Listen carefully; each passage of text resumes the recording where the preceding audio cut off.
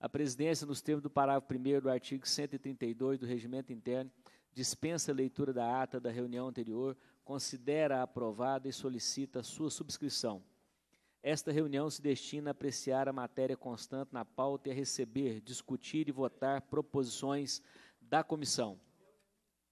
A presidência acusa o recebimento das seguintes proposições, das quais foram designados como relatores: projetos de lei número 899 de 2015 e 2537 de 2021 no primeiro turno, designado como relator o deputado Bruno Engler.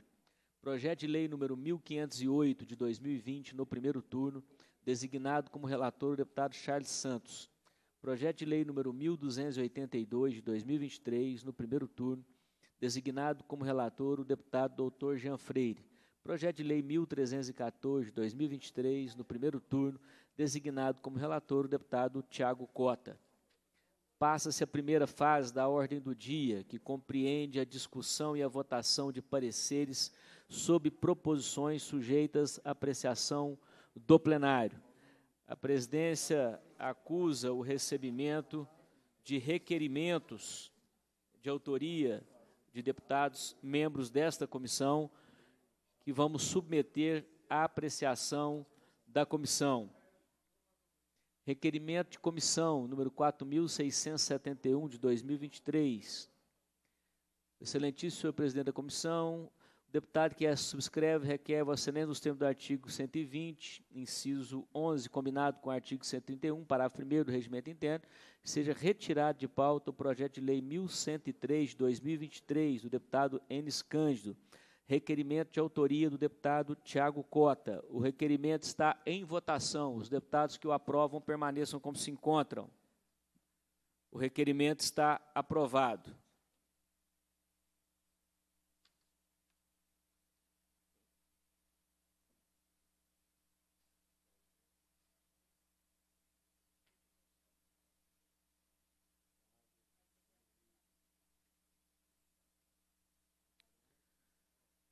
Requerimento de autoria do deputado Tiago Cota, solicitando que sejam colocados em último lugar na ordem do dia as seguintes proposições: Projeto de Lei 1275 de 2019, 4089 de 2022, 1082 de 2023, 1266 de 2023, 1305 de 2023, 1312 de 2023, 1328 de 2023, 1346 de 2023.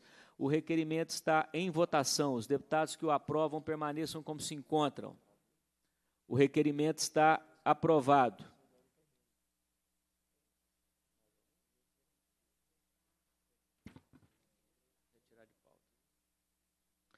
Requerimento de autoria do deputado Lucas Lasmar para que seja retirado de pauta os projetos de lei número 84 e 26, nos termos do artigo 131, parágrafo 1 combinado com o artigo 32, inciso 3 do Regimento Interno, e os projetos de lei 711 de 2023, 1192 de 2023, 1128 de 2023. O requerimento está em votação. Os deputados que o aprovam permaneçam como se encontram. O requerimento está aprovado.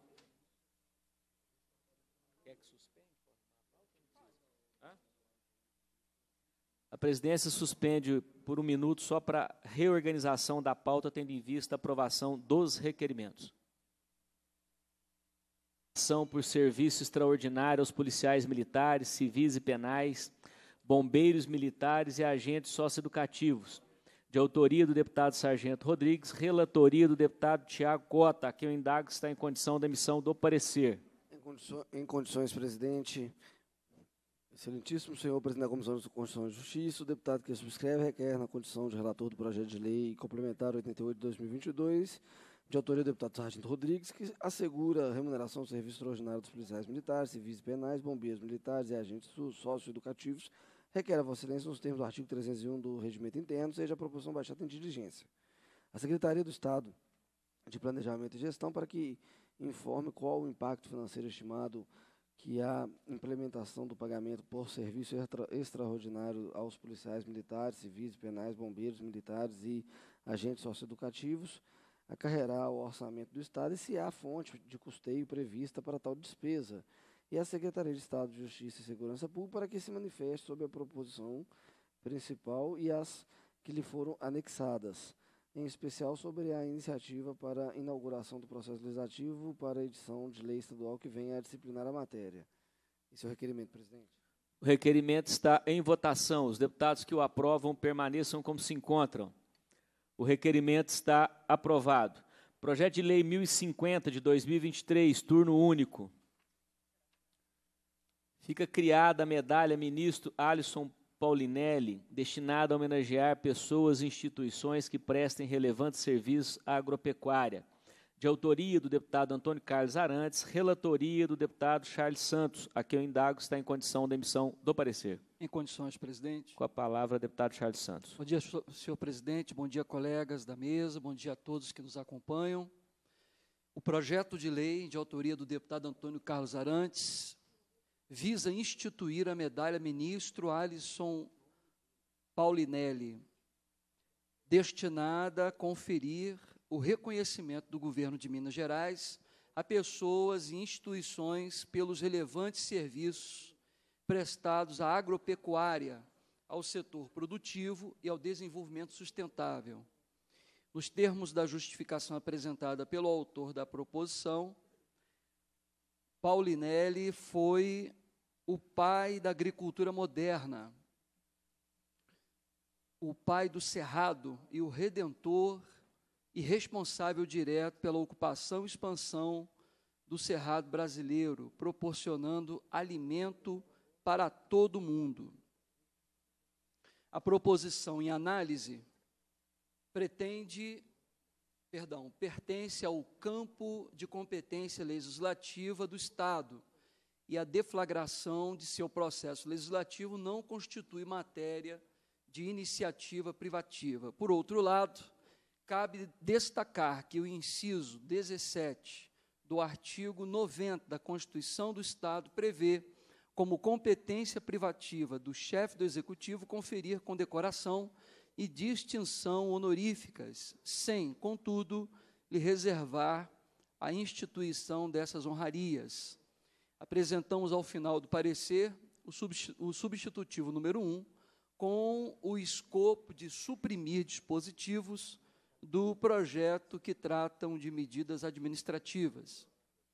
Pelo exposto, concluímos pela juridicidade, constitucionalidade e legalidade do projeto de lei 1050-2023, na forma do substitutivo número 1 a seguir apresentado. Substitutivo número 1, institui a medalha ministro Alisson Paulinelli. A, a Assembleia Legislativa do Estado de Minas Gerais decreta, artigo 1 fica criada a medalha ministro Alisson Paulinelli a ser concedida a pessoas e instituições por relevantes serviços prestados à agropecuária, ao setor produtivo e ao desenvolvimento sustentável. Artigo 2 A medalha será conferida nas seguintes categorias: 1. Um, medalha de honra ministro Alisson Paulinelli pequeno produtor. 2. Medalha de honra, ministro Paulinelli, Alisson Paulinelli, médio produtor. 3. Medalha de honra, ministro Alisson Paulinelli, grande produtor. 4. Medalha de honra, ministro Alisson Paulinelli, universidades e empresas de pesquisa, inovação pública e privadas. 5. Medalha de honra, ministro Alisson Paulinelli, jornalismo e comunicação agro. 6. Medalha de honra, ministro Alisson Paulinelli, entidades, associações, cooperativas, empreendimentos agropecuários. Sétimo, medalha de honra, ministro Alisson Paulinelli, pesquisador profissional das diversas ciências que impactam resultados e ações positivas para a agropecuária. Oitavo, medalha de honra, ministro Alisson Paulinelli, pessoas, pessoa pública e ou de governo. 9. Medalha de honra, ministro Alisson Paulinelli, empresas agropecuárias e agroindústrias. 10. Medalha de honra, ministro Alisson Paulinelli, jovem produtor. Artigo 3. A medalha de que trata esta lei será concedida anualmente no dia 29 de junho pelo governo do Estado, nos termos de regulamento. Só um instante, senhor presidente. Artigo 4 esta lei entra em vigor na data de sua publicação, é o parecer. O parecer está em discussão. Não havendo discussão, o parecer está em votação. Os deputados que o aprovam permaneçam como se encontram. O parecer está aprovado. Projeto de Lei 4.224, de 2017, primeiro turno, autoriza o Poder Executivo a fazer reverter ao município de Itabira o imóvel que especifica, de autoria do deputado Nozinho, relatoria do deputado Tiago Cota, a quem o indago está em condição da emissão do parecer. Em condições, presidente. Com a palavra. De autoria do deputado Nozinho e desarquivado a requerimento do deputado Zé Guilherme, o projeto de lei em PIGF tem por objetivo autorizar o Poder Executivo a fazer reverter ao município Tabira o imóvel que especifica, cabe a esse órgão colegiado o exame preliminar da proposição em seus aspectos jurídico, constitucional e legal, conforme determina o artigo 138, combinado com o artigo 102, parágrafo 3 alineado do regimento interno. Em 23 de 8 de 17, a relatoria solicitou fosse o projeto nos termos do artigo 301 do regimento interno, encaminhado à Secretaria de Estado da Casa Civil e de Relações Institucionais para que informasse a esta Casa sobre a situação efetiva do imóvel e se haveria algum óbice à transferência do domínio presenteada. De posse da resposta, passamos à análise da matéria. O Estado adquiriu propriedade em 1979 por meio de doação promovida pelo município de Tabira. As regras básicas que condicionam a alienação imóvel, de imóveis da administração constam no artigo 18 da Constituição do Estado que exige avaliação prévia, autorização legislativa e licitação. O dispositivo excepciona a exigência de processo licitatório quando se tratar de doação e permuta na forma da lei. Há que se observar também o artigo 76 da Lei Federal 14.133 de 21, que institui normas para licitações e contratos da administração pública para bens imóveis. O inciso primeiro desse dispositivo exige autorização legislativa. A avaliação prévia a licitação da modalidade leilão, dispensada esta última no caso de doação. No caso em exame, consta nos autos de manifestação da Prefeitura Municipal de Itabira em que esta declara seu interesse em receber o imóvel, de forma que uh, o Combem passe a ser o seu gestor e nele realize serviços de acolhimento na modalidade casalar. Instalada, instada a se pronunciar, a Secretaria de Estado de Governo enviou nota técnica 131 de 2019 da Secretaria de Estado de Planejamento e Gestão, em que este órgão se posiciona favoravelmente à alienação pretendida, uma vez que o Estado não possui projeto para utilização do imóvel e que a destinação está assinalada beneficiará diretamente a população local. Sugere, no entanto, que a transferência do bem ao município seja feita por meio de doação.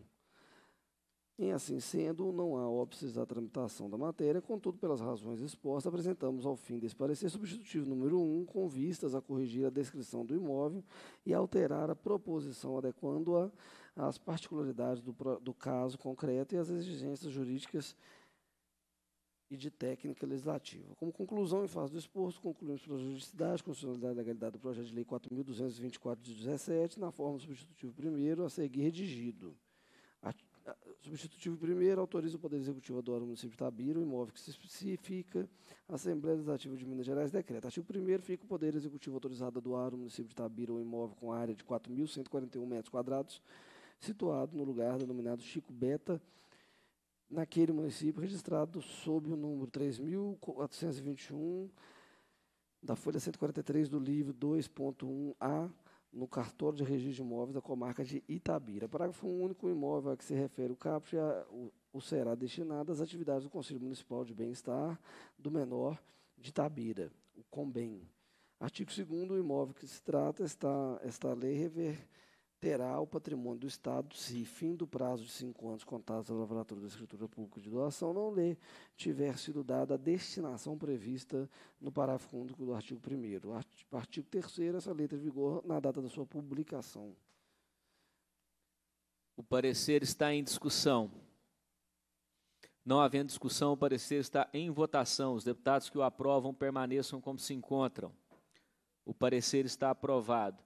Projeto de Lei 1332 de 2019, primeiro turno, autoriza o Departamento de Edificações e Estradas de Rodagem de Minas Gerais, DER, a doar ao Estado o imóvel que especifica.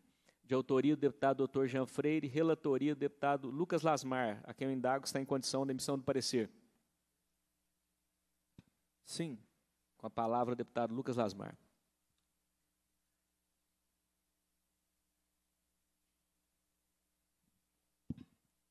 De autoria do deputado Dr. Jean Freire, o projeto de lei em epígrafe autoriza o Departamento de Estradas de Rodagem de Minas Gerais a doar ao, ao, é, ao Estado de Minas Gerais o imóvel que especifica.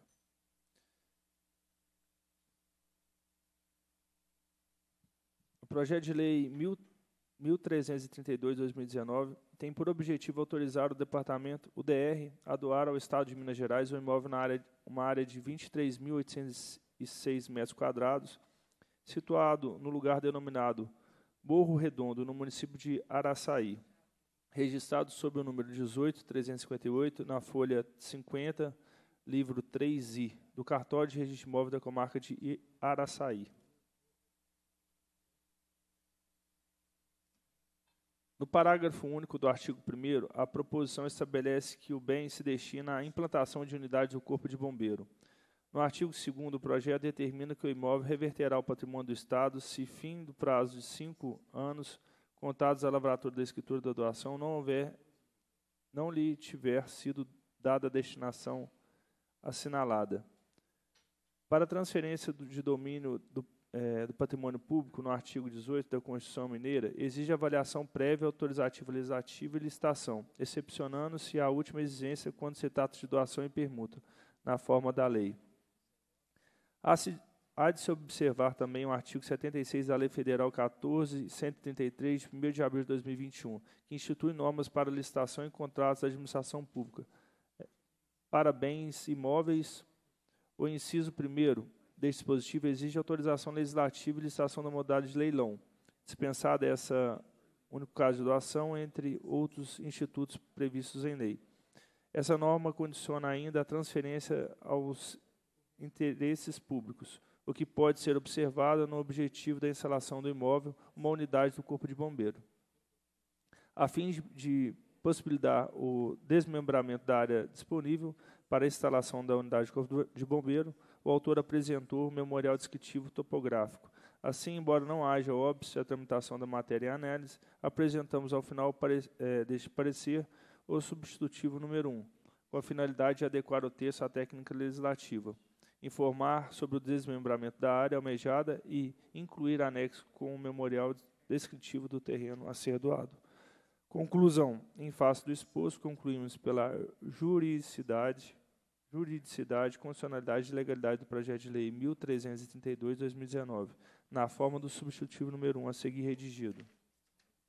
Substitutivo número 1. Autoriza o departamento, o DR, a doar ao, ao Estado o imóvel que especifica a Assembleia Legislativa do Estado de Minas Gerais decreta. Artigo 1 Fica o DR autorizado a doar ao Estado o imóvel à área de 3.457,93 metros quadrados, a ser desmembrado, conforme descrição ao anexo, ao anexo dessa lei, o imóvel com área total de 23.806 metros quadrados, situado no, no lugar denominado Morro Redondo, no município de Araçaí registrado sob o número 18.358, a folha 50, do livro 3I, do cartório de registro de imóveis de Araçaí. Parágrafo único. O imóvel a, a que se, se refere o CAPT destina ao funcionamento de uma unidade de Corpo de Bombeiros de Minas Gerais. Artigo 2 o imóvel que se trata dessa lei reverterá ao patrimônio do doador, se fim a prazo de cinco anos contados da lavatura da escritura de doação não lhe tiver dada a destinação prevista no parágrafo, parágrafo único do artigo 1 Artigo 3 essa lei entra em vigor na data de sua publicação. O parecer está em discussão. Não havendo discussão, o parecer está em votação. Os deputados que o aprovam permaneçam como se encontram. O parecer está aprovado. Projeto de Lei 1723 de 2020, primeiro turno. Ficam os fornecedores de serviços e produtos obrigados a garantir atendimento prioritário às pessoas que fazem tratamento oncológico e de Parkinson no âmbito do Estado. De autoria do deputado Celinho Sintrocel, relatoria do deputado Charles Santos, a quem o indago está em condição da emissão do parecer. Presidente, apresento o requerimento nos termos do artigo 301 do Regimento Interno, objetivo de que a proposição seja baixada em diligência à Secretaria de Estado de Saúde para prestar informações acerca do projeto de lei 1723/2020, em especial se o conteúdo nele incerto inova a ordem jurídica, ampliando o rol de benefícios dos cidadãos de modo justo e eficaz. O requerimento está em votação. Os deputados que o aprovam permaneçam como se encontram. O requerimento está aprovado. Projeto de Lei 3044 de 2021, primeiro turno, autoriza o Poder Executivo a doar ao município de Ibiá o imóvel que especifica. De autoria do deputado Braulio Braz, de minha relatoria, da qual eu passo a emissão do parecer.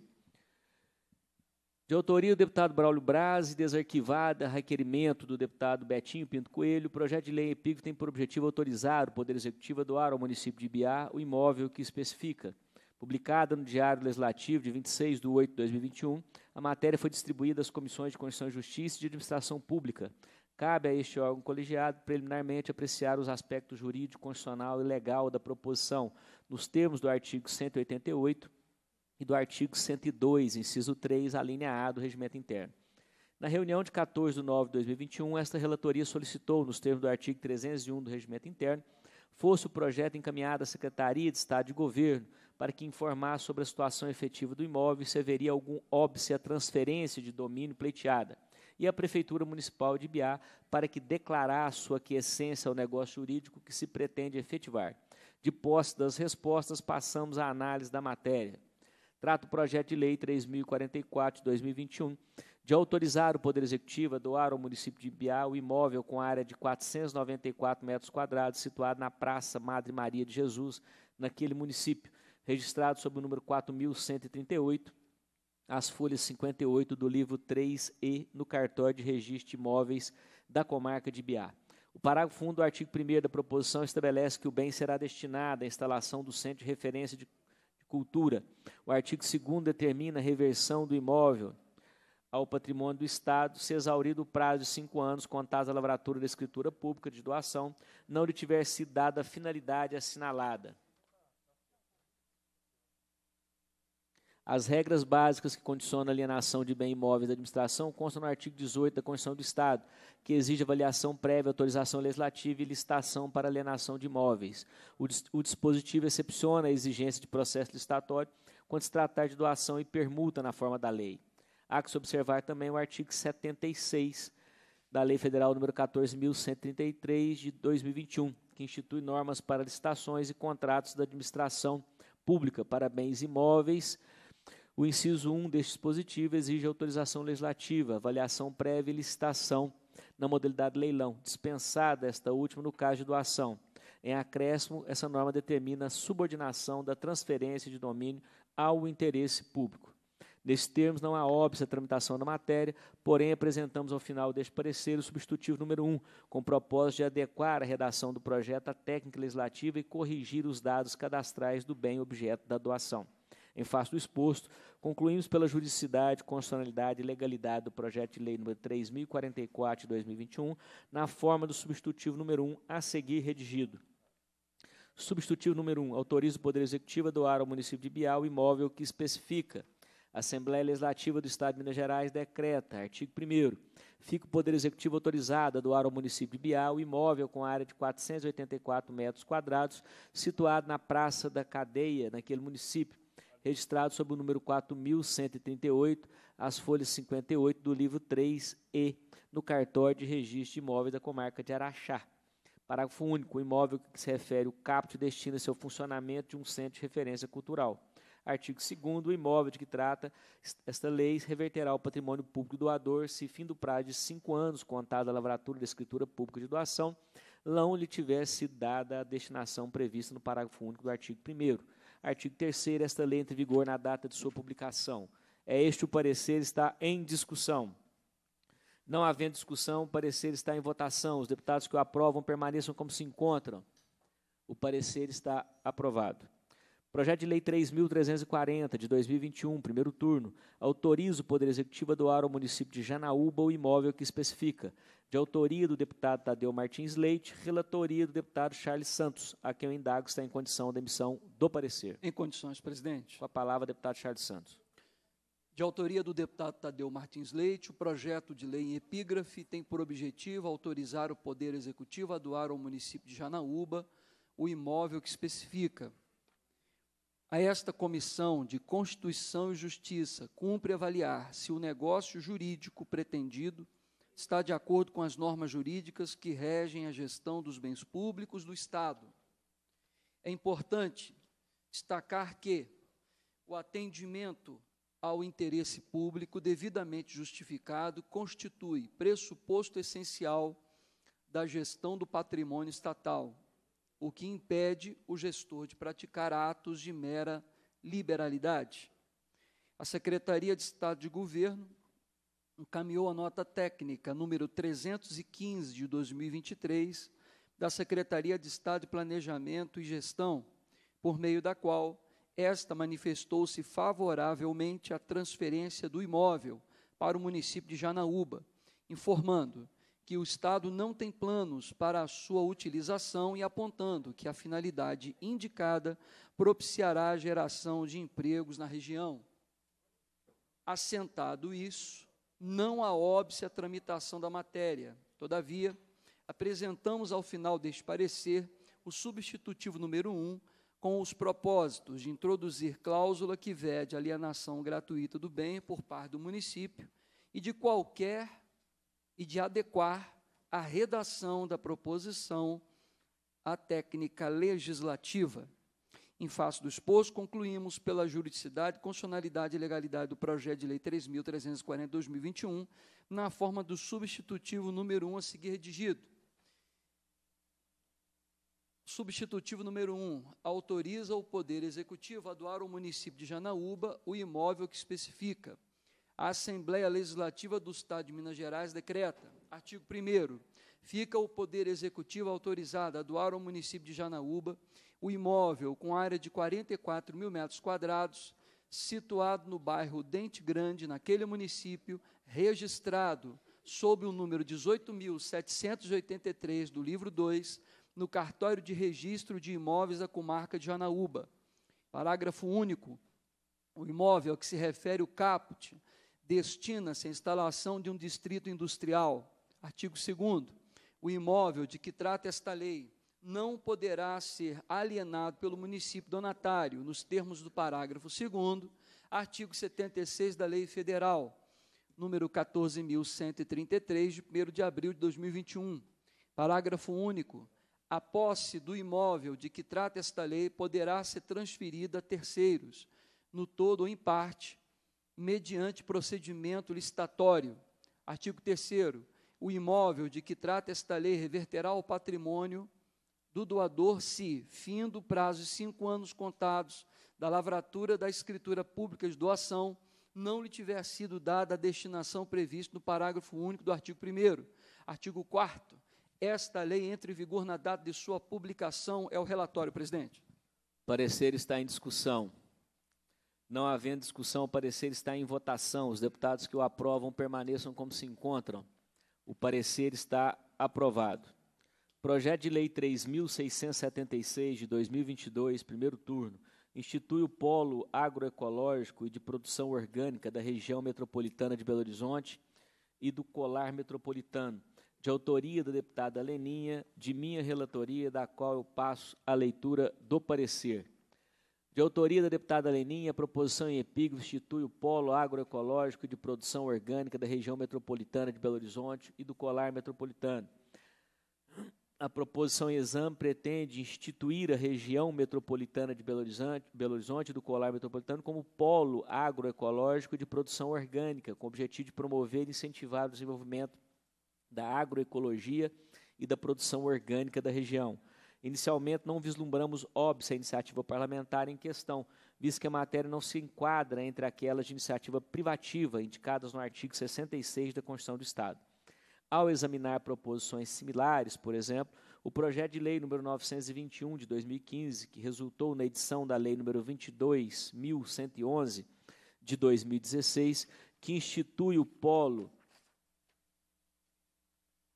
de excelência em psicultura ornamental na região da Zona da Mata, esta comissão afirmou, considerando-se que no sistema federativo brasileiro a competência do Estado é de natureza remanescente, reservada ou residual, cabe-lhe dispor sobre as matérias que não se encartarem na competência privativa da União e dos municípios, conforme se infere do disposto do parágrafo 1 do artigo 25 da Constituição da República, segundo o qual são reservadas aos Estados as competências que não lhes sejam vedadas por esta Constituição. Assim, basta que determinada matéria não esteja inserida no domínio federal ou municipal para ensejar a atuação do Estado, seja por meio de medidas legislativas genéricas, abstratas, seja mediante ações concretas voltadas para a defesa do interesse público. Diante do exposto, concluímos pela juridicidade, constitucionalidade e legalidade do projeto de lei número 3676 de 2022. É esse o parecer está em discussão. Não havendo discussão, o parecer está em votação. Os deputados que o aprovam permaneçam como se encontram. O parecer está aprovado. Projeto de Lei 3.717, de 2022, primeiro turno, autoriza o Poder Executivo a doar ao município de Cambuí o imóvel que especifica. De autoria do deputado Dalmo Ribeiro Silva, relatoria do deputado Tiago Cota, a quem eu indago se está em condição da emissão do parecer.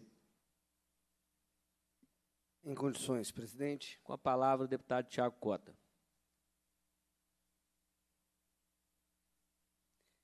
De autoria do deputado Dalmo Ribeiro, o projeto de lei em EPIG autoriza o Poder Executivo a doar ao município de Cambuí o imóvel que especifica. Cabe a esse órgão colegiado o exame preliminar da proposição e seus aspectos jurídico, constitucional legal, conforme determina o artigo 188, combinado com o artigo 102, parágrafo 3 e alineado do regimento interno. Em 7 de 6 de 2022, essa relatoria solicitou fosse o projeto nos termos do artigo 301 do Regimento Interno, encaminhada à Secretaria de Estado de Governo para que esta se manifestasse sobre a situação efetiva do imóvel, se haveria algum óbice à transferência do domínio pretendida. De posta da resposta, passamos à análise da matéria. A proposição estabelece que o bem se destina ao funcionamento de uma unidade básica de saúde do município, determina ainda que o imóvel reverterá ao patrimônio do Estado se, fim do prazo de cinco anos contados da lavratura da escritura pública da doação, não lhe tiver sido dada a destinação assinalada, para transferência do domínio do patrimônio público, ainda, para que, ainda que para outro ente da Federação, o artigo 18 da Constituição Mineira exige avaliação prévia, autorização legislativa e licitação, excepcionando-se a última exigência quando se tratar de doação e permuta na forma da lei. Há que se observar também o artigo 76 da Lei Federal 14.133, de 1 de abril de 21, que institui normas para licitações e contratos da administração pública para bens imóveis. O inciso primeiro desse dispositivo exige autorização legislativa e licitação na modalidade de leilão, dispensada esta última no caso de doação entre os institutos previstos na lei. Secretaria de Estado de Governo, em resposta a essa relatoria, encaminhou nota técnica 190 de 2022 da Secretaria de Estado de Planejamento e Gestão, por meio da qual esta se manifestou favoravelmente à alienação pretendida, já que o Estado não tem projetos para o aproveitamento do bem. Ressalta-se ainda que a Prefeitura Municipal de Cambuí apresentou o ofício 151 de 22, em que solicita a operação hora discutida, estando, portanto, de acordo com o projeto. Assim, embora não haja óbice a tramitação da matéria em análise, apresentamos, no final deste parecer, o substitutivo número 1, um, com a finalidade de adequar o texto e a, a técnica legislativa. Em face do exposto, concluímos pela juridicidade, constitucionalidade e legalidade do projeto de lei 3.717 de 2022, na forma do substitutivo número 1 um, a seguir redigido.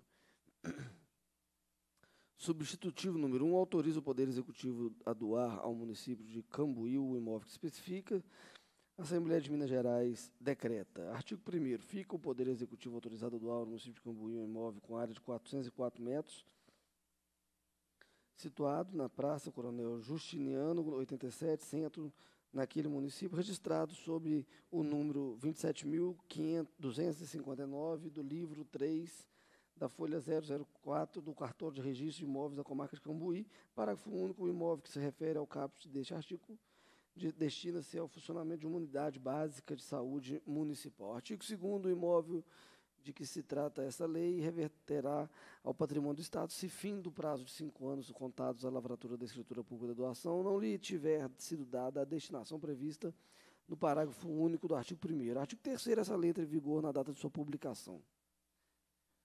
Parecer está em discussão. Não havendo discussão, o parecer está em votação. Os deputados que o aprovam permaneçam como se encontram. O parecer está aprovado. Projeto de Lei 4028 de 2022, primeiro turno, dispõe sobre a obrigatoriedade de as concessionárias e permissionárias de serviços públicos contínuos notificarem por meio eletrônico os consumidores sobre a interrupção ou suspensão total ou parcial desses serviços. De autoria do deputado Raul Belém, relatoria do deputado Charles Santos, a quem o indago está em condição da emissão do parecer. Em condições, excelência. Com a palavra, deputado Charles Santos de autoria do deputado Raul Belém, o projeto de lei em epígrafe dispõe sobre a obrigatoriedade de as concessionárias e permissionárias de serviços públicos contínuos notificarem por meio eletrônico os consumidores sobre a interrupção ou suspensão total ou parcial desse serviço. No que diz respeito aos aspectos constitucionais, não há impedimento à tramitação da proposição, o projeto em questão disciplina tema afeto ao consumo, matéria de competência concorrente entre os Estados, o Distrito Federal e a União, nos termos do artigo 24, inciso 5 da Constituição da República. A relação existente entre a concessionária ou permissionária de serviço público e o usuário caracteriza-se como uma relação de consumo, sendo aplicável o CDC, Código de Defesa do Consumidor, naquilo que não conflita com a legislação administrativa específica. Nota-se também que a mencionada lei federal, de número 13.460 de 2017, aplicável a todas as esferas federativas, prevê em seu artigo 6 inciso 8 como direito do usuário a comunicação prévia de suspensão da, presta, da prestação de serviço, Dessa forma, o projeto contribui, em âmbito estadual, para tornar mais efetivo o cumprimento desse direito, especificando o conteúdo e a forma da notificação do usuário sobre a suspensão parcial ou total do serviço. Com o intuito de promover adequações de ordem de técnica legislativa, bem como para limitar o âmbito da proposição aos serviços públicos contínuos de responsabilidade do Estado, como serviço de abastecimento de água, de esgotamento sanitário e de gás, apresentamos o substitutivo número 1 um, ao final redigido. Em face do exposto, concluímos pela aprovação do projeto de lei 4028 de 2022, na forma do substitutivo número 1 um a ser apresentado.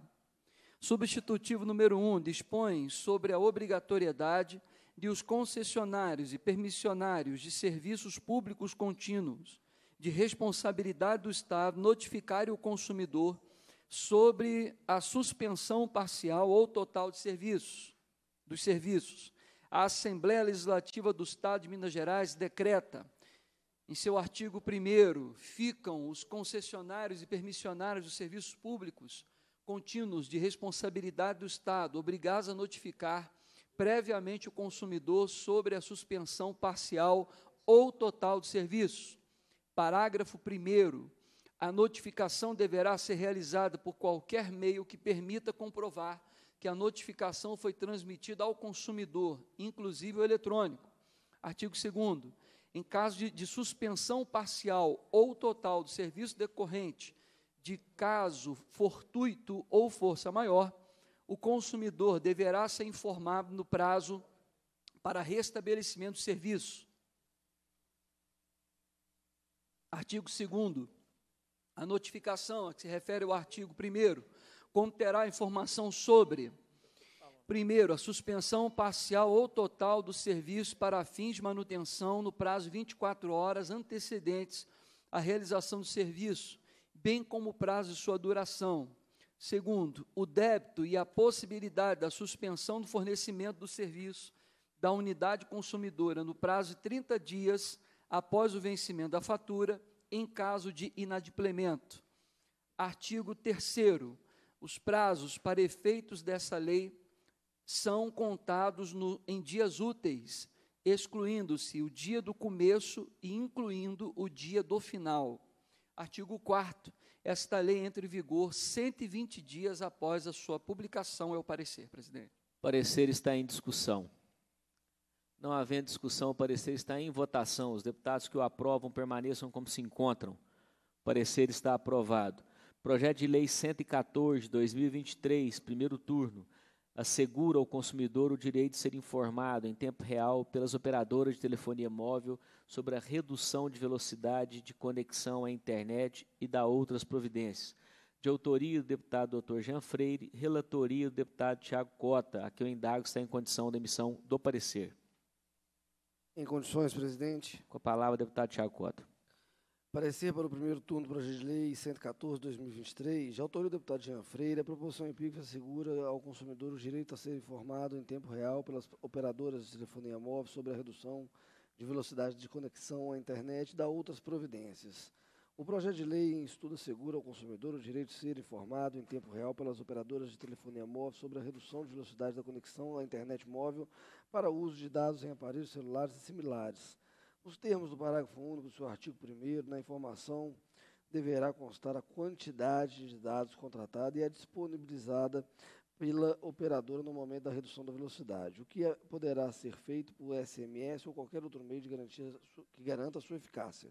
Na hipótese da redução de velocidade da conexão à internet móvel estar em desconformidade com a franquia contratada, a operadora de telefonia móvel deverá fazer a compensação no valor total do consumo, observado o período de, da decorrência do, ano, do, do dano ao consumidor, nos termos da Lei 8.078, de 11 de setembro de 90. Sobre o tema, entende destacar que o Estado do Espírito Santo editou Lei 11.201 de 20, que obriga as empresas prestadoras de serviço de internet móvel a apresentar na fatura, na fatura mensal gráficos sobre o registro médio de, integra, de entrega da velocidade de recebimento e envio de dados pela internet. A constitucionalidade da referida lei foi questionada perante o Supremo Tribunal Federal, que, por maioria, julgou improcedente o pedido formulado pela ADI número 6.893 e declarou a constitucionalidade da referida lei. Assim sendo, com o fulcro no entendimento exposto, apresentamos ao final do parecer substitutivo, obrigando as empresas, prestadores de serviço de telefonia de internet móvel e banda larga a apresentar gráfico na fatura mensal da cobrança com a demonstração do registro diário da média de velocidade de recebimento e de envio de dados pela internet. Como conclusão, em face do exposto, concluímos pela juridicidade, constitucionalidade legalidade do projeto de lei 114/2023, a forma do substitutivo número 1 a seguir apresentado. O substitutivo número 1 obriga as empresas prestadoras de serviços de internet móvel e banda larga a apresentar gráfico na fatura mensal da cobrança com a demonstração do registro diário da média de velocidade de recebimento de envio de dados pela internet. A Assembleia de Minas Gerais decreta, artigo 1 as empresas prestadoras de serviços de internet móvel e banda larga na modalidade pós-pago ficam obrigadas a apresentar gráfico na fatura mensal de cobrança com a demonstração do registro diário da média da velocidade do recebimento do envio de dados pela internet.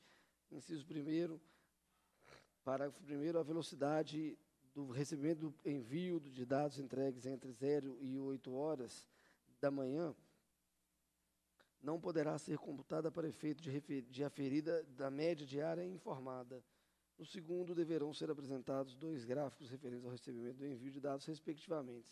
Parágrafo 2 a lei entra em vigor na data de sua publicação. Parecer está em discussão. Não havendo discussão, o parecer está em votação. Os deputados que o aprovam permaneçam como se encontram. O parecer está aprovado.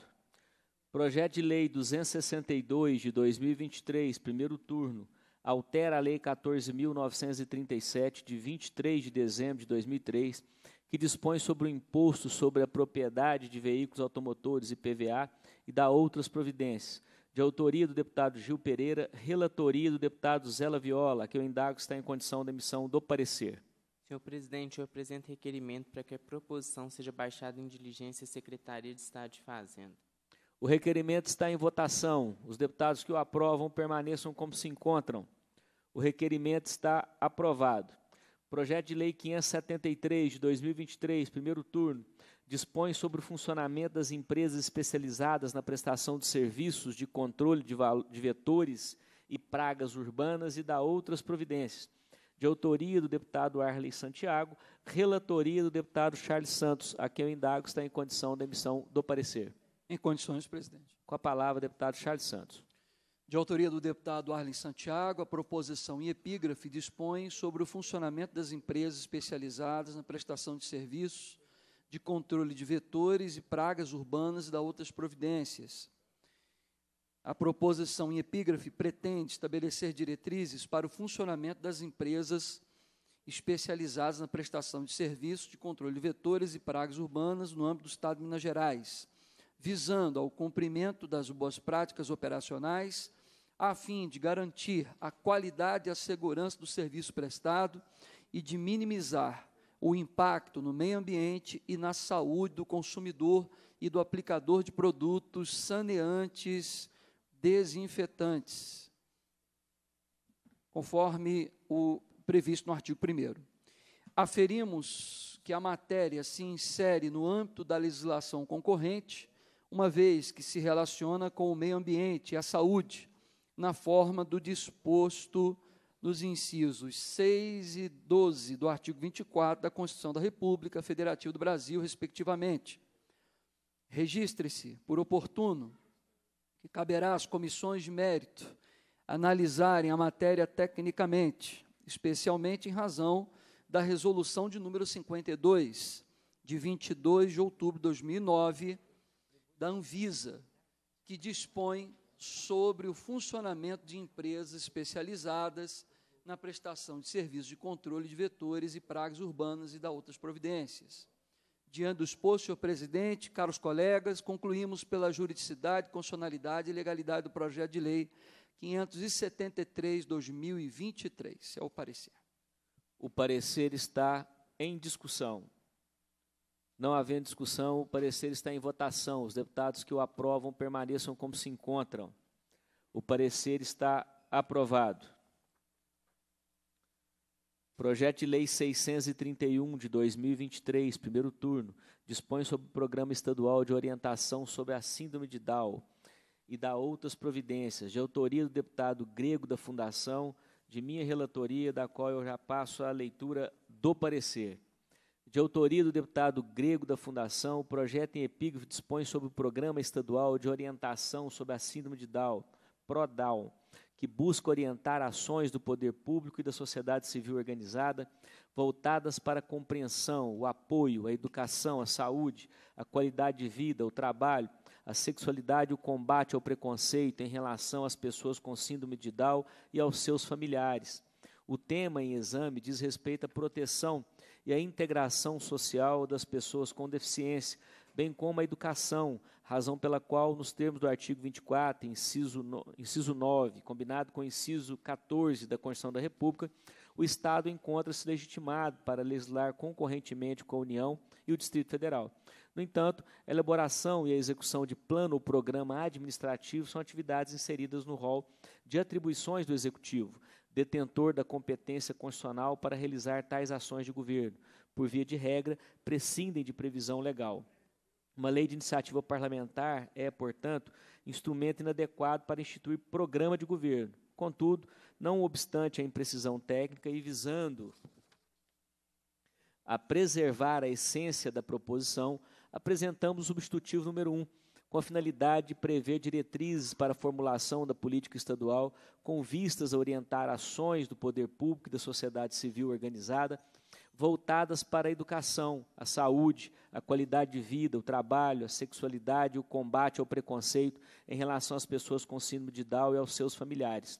Conforme precedentes desta comissão, viabiliza-se a apresentação de projeto de lei de iniciativa parlamentar dispondo sobre a criação de políticas públicas, desde que, em respeito ao princípio da separação entre os poderes, não haja interferência na estrutura organizacional da administração pública do Poder Executivo e nem se atribuam competências a órgãos e entidades estatais. Em face do exposto, concluímos pela legalidade, constitucionalidade e juridicidade do projeto de lei 631/2023 na forma do substitutivo número 1 a seguir apresentado. Substitutivo número 1 estabelece diretrizes para a formulação da política estadual de orientação sobre a síndrome de Down, PRODAL. A Assembleia Legislativa do Estado de Minas Gerais decreta, artigo 1 esta lei estabelece as diretrizes para a formulação de política, da política estadual de orientação sobre a síndrome de Down, PRODAL, no âmbito do Estado de Minas Gerais. Artigo 2 a política estadual de orientação sobre a síndrome de Down no Estado de Minas Gerais tem por objetivo orientar ações governamentais e da sociedade civil organizada voltadas para a compreensão, o apoio, a educação, a saúde, a qualidade de vida, o trabalho, a sexualidade e o combate ao preconceito em relação às pessoas com síndrome de Down e aos seus familiares. Artigo 3 A política de que trata esta lei será formulada e implementada com observância das seguintes diretrizes. Inciso 1. Estimular e sensibilizar todos os setores da sociedade a realizarem atividades de proteção e apoio às pessoas com síndrome de Down e a seus familiares. Inciso 2. Informar a sociedade sobre as principais questões relativas à convivência e ao trato com as pessoas com síndrome de Down. Inciso 3. Instituir, em parceria com a sociedade, ações voltadas para a compreensão, o apoio, a educação, a saúde, a qualidade de vida, o trabalho, a sexualidade o combate ao preconceito em relação às pessoas com síndrome de Down e seus familiares. Inciso 4. Implantar atividades de comunicação com os diversos setores do poder público e com organizações da sociedade civil para informar a sociedade sobre a síndrome de Down, tendo em vista a educação, a saúde, o trabalho e a prática de modalidades esportivas e artísticas para as pessoas com essa síndrome. Inciso 5. Realizar e incentivar ações em estabelecimentos da rede pública e privada de ensino no âmbito do Estado de Minas Gerais para conscientização sobre a síndrome de Down e o combate ao preconceito. Inciso 6. Promover e incentivar a divulgação de legislação concernente aos direitos garantidos às pessoas com síndrome de Down, no que se refere às políticas públicas, aos benefícios e às isenções relacionadas à saúde, à educação, ao trabalho, à inclusão e acessibilidade. Inciso 7 incrementar a interação entre profissionais da saúde e da educação e as pessoas com síndrome de Down, promovendo a melhoria da qualidade de vida dessas últimas, o aprimoramento dos profissionais envolvidos e o preparo de familiares quanto à aplicação de conceitos técnicos na convivência com a síndrome de Down. Inciso 8. Promover o apoio aos pais de crianças com síndrome de Down, especialmente com as seguintes medidas: a linha A, acolhimento no pós-parto. A linha B, esclarecimentos e orientações necessárias sobre a condição da criança e suas especificidades. A linha C, possibilidade de permanência da mãe junto à criança em UTIs por tempo maior em horários diferenciados. Artigo 4 esta lei entra em vigor na data de sua publicação. Este é o parecer, está em discussão. Eu quero aproveitar esse momento e, e, primeiro, parabenizar a autoria do deputado grego da Fundação de um projeto tão importante como esse. E, mais uma vez, aqui nesta comissão, durante este ano, a gente tem percebido, e eu não vou deixar de registrar sempre, que projetos dessa natureza, que têm dado atenção especial às pessoas com deficiência, a, questão, a questões relativas à acessibilidade, à, à reafirmação e proteção dos direitos das pessoas com deficiência, aqui no caso específico, tratando em relação à síndrome de Down, matéria de muita importância, sensibilidade, o parlamento não tem passado despercebido. A Assembleia Legislativa de Minas Gerais tem dado atenção mais do que especial, uma atenção contínua em relação a matérias dessa natureza. Eu tenho alegria a honra de poder aqui ser o relator e contribuir, aperfeiçoando o que foi apresentado, apresentando um substitutivo para que a matéria estivesse adequada à possibilidade de tramitação dentro da juridicidade e constitucionalidade. Então, parabéns ao relator e peço aos nobres colegas dessa comissão a aprovação deste parecer. O parecer está em votação. Os deputados que o aprovam permaneçam como se encontram. O parecer está aprovado. Projeto de Lei 640 de 2023, primeiro turno, autoriza o Poder Executivo a doar ao município de Santa Rita de Caldas o imóvel que especifica. De autoria do deputado Rodrigo Lopes, relatoria do deputado Zé Viola, a quem o indago está em condição de emissão do parecer. Senhor presidente, eu apresento requerimento para que a proposição seja baixada em diligência ao autor, à Secretaria de Estado de Governo e à Prefeitura Municipal de Santa Rita de Caldas. O requerimento está em votação. Os deputados que o aprovam permaneçam como se encontram. O requerimento está aprovado. Projeto de Lei 645 de 2023, primeiro turno, autoriza o Poder Executivo a doar ao município de Cedro do Abaeté o imóvel que especifica, de autoria do deputado Fábio Avelar, relatoria do deputado Zé Viola, que o indago está em condição de emissão do parecer. Senhor presidente, também apresento requerimento para que a proposição seja baixada em diligência à Secretaria de Estado de Governo. O requerimento está em votação. Os deputados que o aprovam permaneçam como se encontram. O requerimento está aprovado. Projeto de Lei 661 de 2023, primeiro turno, dispõe sobre a desafetação da rodovia que especifica e autoriza o Poder Executivo a doar ao município de Sacramento a área correspondente de autoria do deputado Bosco, relatoria do deputado Zé Viola, a quem o indago está em condição da emissão do parecer. Senhor presidente, também apresento requerimento para que a proposição seja baixada em diligência à Secretaria de Estado de Governo. O requerimento está em votação. Os deputados que o aprovam permaneçam como se encontram. O requerimento está aprovado. Projeto de Lei 662 de 2023, primeiro turno autoriza os municípios a realizarem pagamento com recurso próprio quando houver atraso no repasse por parte do governo estadual. De autoria do deputado Lucas Lasmar, relatoria do deputado Charles Santos, a quem o indago está em condição da emissão do parecer. Em condições, senhor presidente. Com a palavra o deputado Charles Santos. De autoria do deputado Lucas Lasmar, a proposição em epígrafe autoriza os municípios a realizarem pagamento com recurso próprio quando houver atraso no repasse por parte do governo estadual.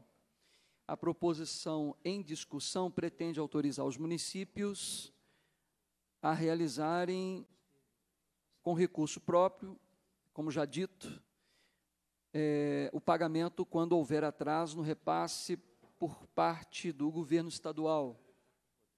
Entendemos que a matéria tratada na proposição, ora discutida, não se inclui entre aquelas cuja iniciativa legislativa é atribuída privativamente ao governador, na forma do inciso terceiro do artigo 66 da Constituição Estadual, de tal modo que a iniciativa parlamentar é assegurada. Do mesmo modo, afere-se a competência estadual para suplementar normas normas gerais da União sobre a matéria, licitação e contrato administrativo na administração pública direta e indireta, na forma do disposto na linha B do inciso 14 do artigo 10 da Constituição Mineira. Aferimos que o tema está disciplinado no decreto 46.319, de 26 de setembro de 2013, que dispõe sobre as normas relativas à transferência de recursos financeiros da administração pública do Poder Executivo Estadual, mediante convênio de saída e da outras providências.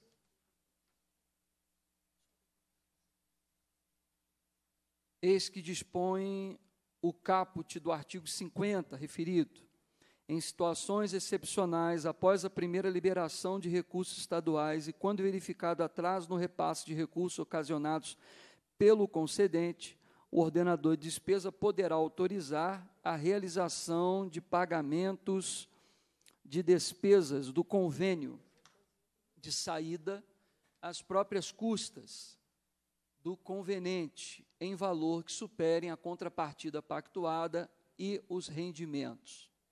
Considerando as atribuições regimentais desta comissão, caberá às comissões de mérito, especialmente a de fiscalização financeira e orçamentária, a análise dos aspectos que a elas compete. Por fim, apresentamos, senhores, o substitutivo número 1, com o propósito de retirar do projeto o dispositivo, especialmente o artigo 4 que contém matéria de reserva de administração, ao instituir comando ao Poder Executivo, de modo a evitar afronta ao princípio da separação entre os poderes. Diante do exposto, concluímos pela juridicidade, constitucionalidade e legalidade do projeto de lei 662-2023, na forma do substitutivo número 1 a seguir apresentado. Substitutivo número 1 autoriza os municípios a realizar com recursos próprios o pagamento de despesas contempladas em plano de trabalho de convênio firmado com o Estado, quando houver atraso no repasse por parte do governo estadual. A Assembleia Legislativa do Estado de Minas Gerais decreta, artigo 1 o órgão ou a entidade da administração pública municipal responsável pela execução de convênio firmado com o Estado poderá realizar, com recursos próprios, despesas contempladas no plano de trabalho do convênio, na hipótese de atraso na liberação de recursos por parte do governo estadual. Artigo 2 caso efetue o pagamento de despesas do convênio com recursos próprios em virtude de atraso na liberação de recursos pelo governo estadual, fica o município autorizado a reaver tais recursos por meio de transferência da conta específica do convênio para a conta do município em que se debitou seu recurso próprio, desde que 1. Um, esteja devidamente comprovado que o atraso no repasse dos recursos é de responsabilidade do governo do Estado. 2. As despesas realizadas pelo município estejam contempladas no plano de trabalho do convênio. 3. O valor reavido seja exatamente igual ao valor das despesas realizadas pelo município, devendo tal valor não se confundir com o montante correspondente à contrapartida pactuada. 4. As operações correspondentes às transferências financeiras entre contas bancárias do município e do convênio sejam registradas no sistema de gestão de convênios e contratos de repasse, SICONVE, e no Sistema Único Integrado de Execução Orçamentária, Administração Financeira e Controle, CIAF. Artigo 3 esta lei entra em vigor na data de sua publicação. É o parecer. O parecer está em discussão. Pela ordem, presidente. Com a palavra, o deputado Lucas Lasmar. Quero agradecer ao deputado Charles pela relatoria do nosso projeto de lei 662, onde autoriza os prefeitos a realizarem é, é, transferências bancárias em contas únicas dos convênios que são firmados com o Estado de Minas Gerais. Nós sabemos que existem várias obras paradas no nosso Estado por falta de repasse e que os prefeitos não colocam recurso próprio dentro desses convênios porque eles não são ressarcidos no futuro.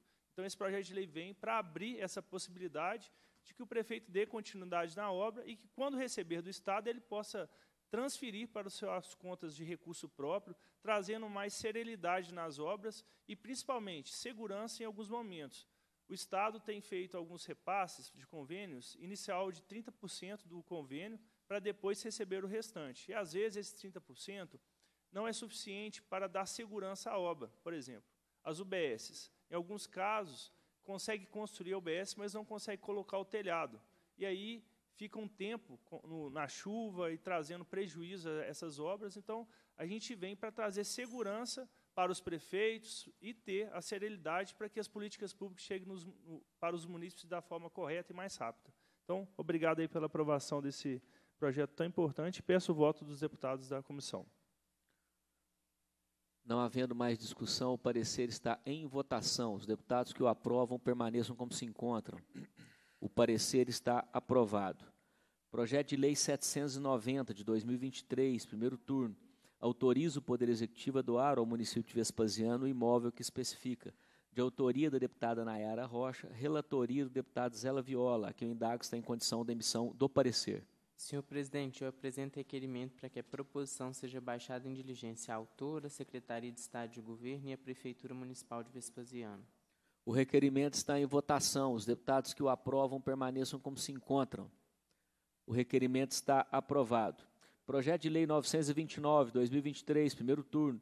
Autoriza o Poder Executivo a doar ao município de Sarzedo o trecho compreendido entre o quilômetro 25,5 e o quilômetro 33,4 da rodovia MG 040 e da outras providências, de autoria da deputada Ione Pinheiro, relatoria do deputado Charles Santos, a quem o indago está em condição da emissão do parecer. Em condições, senhor presidente. Com a palavra, deputado Charles Santos. Obrigado, senhor presidente. Projeto de lei de número 929, 2023, da deputada Ione Pinheiro, que autoriza o Poder Executivo a doar ao município de Sarzedo trecho de 7,9 quilômetros da rodovia MG 040, situado entre o quilômetro 25,5 e o quilômetro 33,4.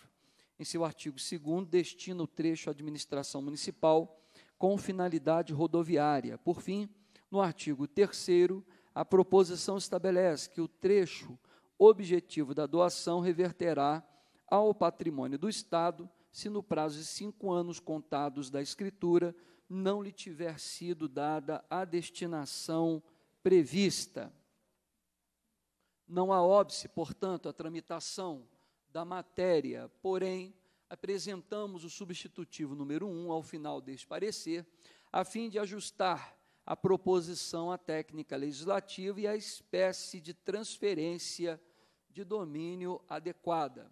Pelo aduzido, concluímos pela juridicidade, constitucionalidade e legalidade do projeto de lei de número 929 de 2023, na forma do substitutivo, do, do substitutivo número 1 a seguir redigido.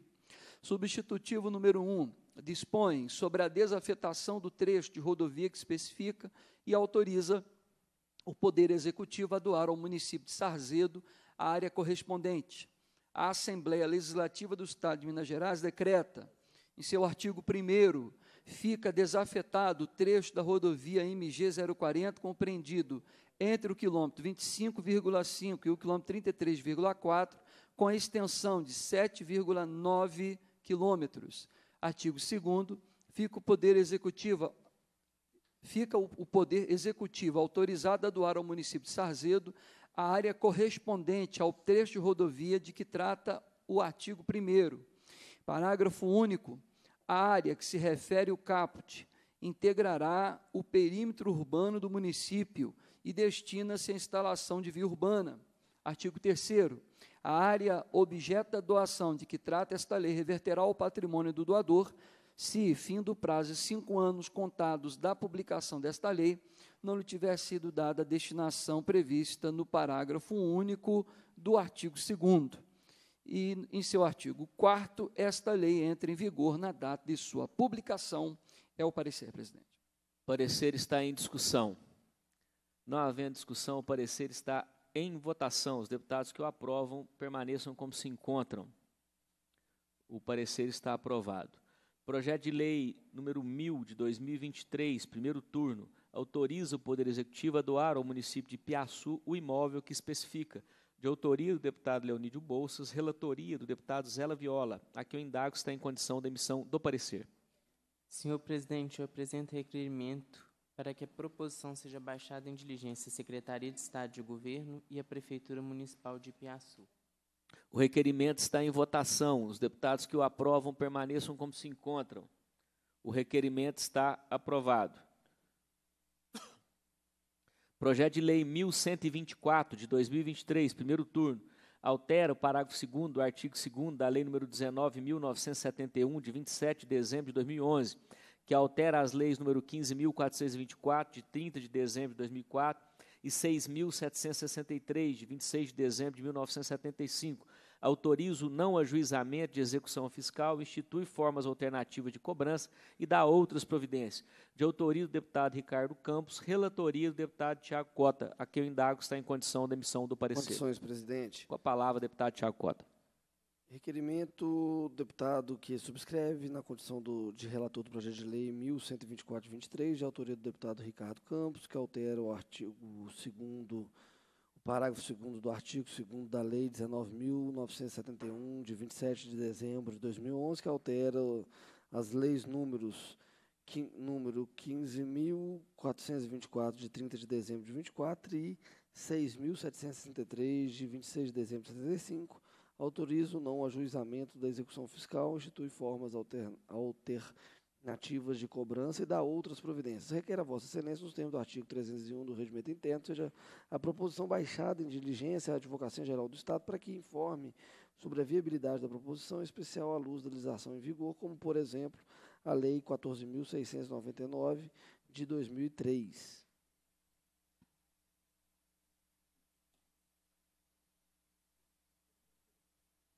O requerimento está em votação. Os deputados que o aprovam permaneçam como se encontram.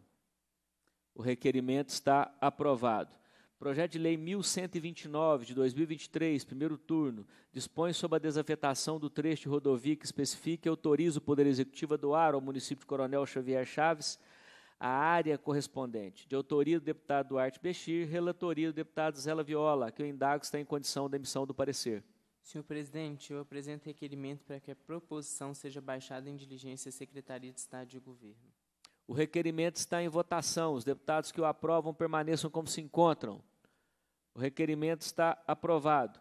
Projeto de Lei 1150 de 2023, primeiro turno, institui a obrigatoriedade e a fixação de placas informando a respeito dos direitos das pessoas com deficiência nos ambientes escolares de autoria da deputada Nayara Rocha, relatoria do deputado Charles Santos, a quem o indago está em condição da emissão do parecer.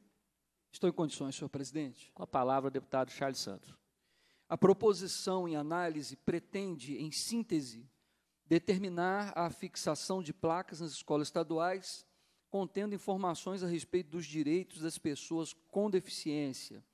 Deve-se reconhecer que o tema diz respeito à proteção e à integração social das pessoas com deficiência e a educação, razão pela qual, nos termos do artigo 24, inciso 9, combinado com o inciso 14 da Constituição da República, o Estado encontra-se legitimado para legislar concorrentemente com a União e o Distrito Federal. A proposição encontra-se em consonância com a lei de número 13.146, de 6 de julho de 2015, Lei Brasileira de Inclusão da Pessoa com Deficiência, e visa dar publicidade aos direitos das pessoas com deficiência relativos à sua integração social e acadêmica.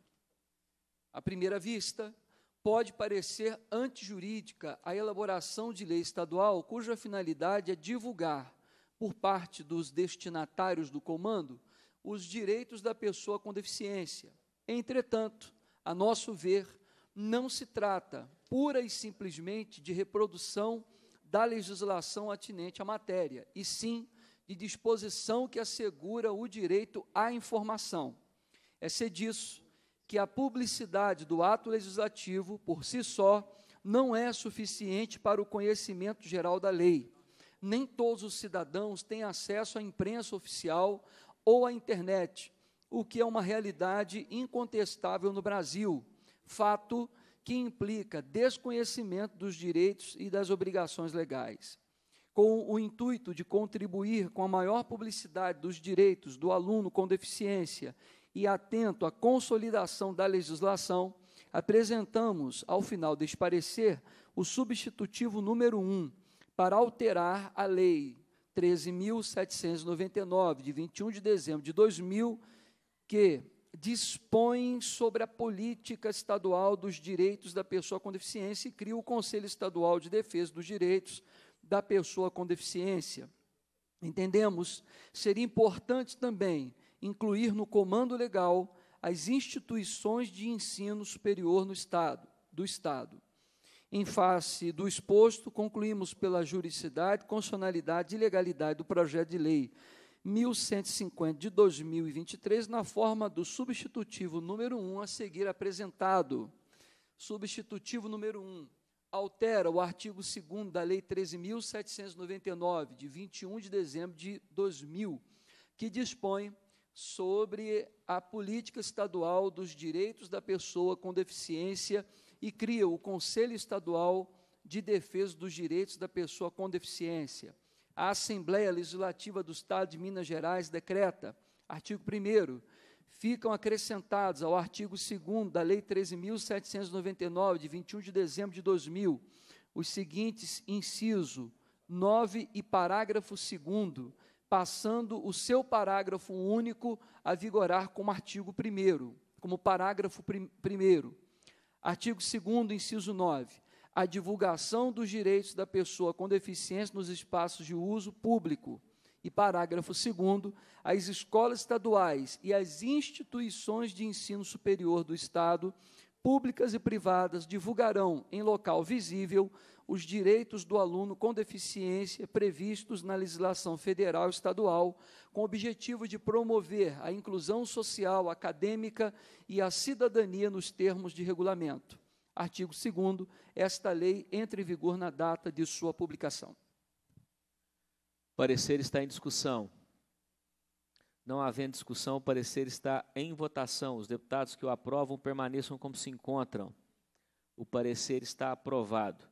Projeto de Lei 1168 de 2023, primeiro turno, autoriza o Poder Executivo a doar ao município de Mutum o imóvel que especifica.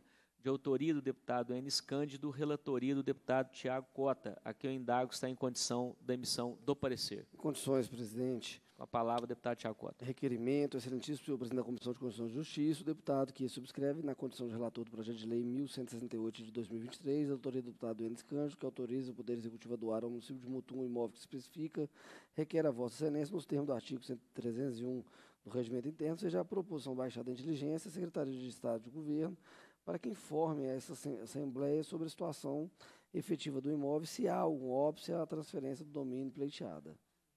O requerimento está em votação. Os deputados que o aprovam permaneçam como se encontram. O requerimento está aprovado.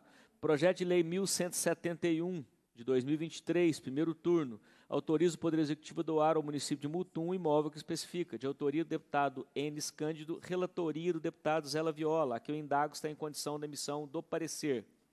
Senhor presidente, eu apresento requerimento para que a proposição seja baixada em diligência da Secretaria de Estado de Governo. O requerimento está em votação. Os deputados que o aprovam permaneçam como se encontram. O requerimento está aprovado.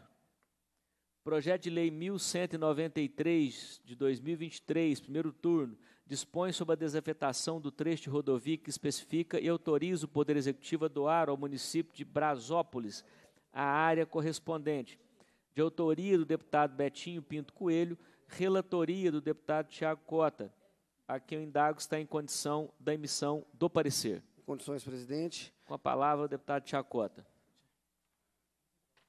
Requerimento, excelentíssimo senhor presidente da Comissão de Constituição e Justiça, o deputado subscreve na condição de relator do projeto de lei 1193 de 2023, de autoria do deputado Betinho Pito Coelho, que dispõe sobre a desafetação do trecho de rodovia que especifica o Poder Executivo a doar ao município de Brasópolis a área correspondente, requer a Vossa Excelência o termo do artigo 301 do Regimento Interno, seja proposição baixada em diligência a Secretaria de Estado de Governo para que se manifeste sobre a viabilidade da matéria e a Prefeitura Municipal de Brasilópolis para que se declare sua aquiescência ao negócio jurídico que se pretende efetivar. Esse é o requerimento, presidente. O requerimento está em votação. Os deputados que o aprovam permaneçam como se encontram. O requerimento está aprovado. Projeto de Lei 1200 de 2023, primeiro turno, dispõe sobre as diretrizes para o incentivo ao acesso ao empreendedorismo voltados à tecnologia assistiva para as pessoas com deficiência, incapacidade ou mobilidade reduzida do âmbito do Estado, na forma que especifica, de autoria do deputado professor Wendel Mesquita, relatoria do deputado Tiago Cota, que o indago está em condição da emissão do parecer. Presidente, como nós temos é, algumas emendas sugeridas pelo deputado Antônio Casarantes, eu gostaria de fazer o, o pedido de prazo para esse projeto de lei, para que a gente possa elaborá-las e anexá-las ao projeto é regimental, está concedido o prazo ao relator. Projeto de Lei 1209 de 2023, primeiro turno, altera a Lei número 15.075, de 5 de abril de 2004, que dispõe sobre a política estadual de apoio ao cooperativismo e dá outras providências.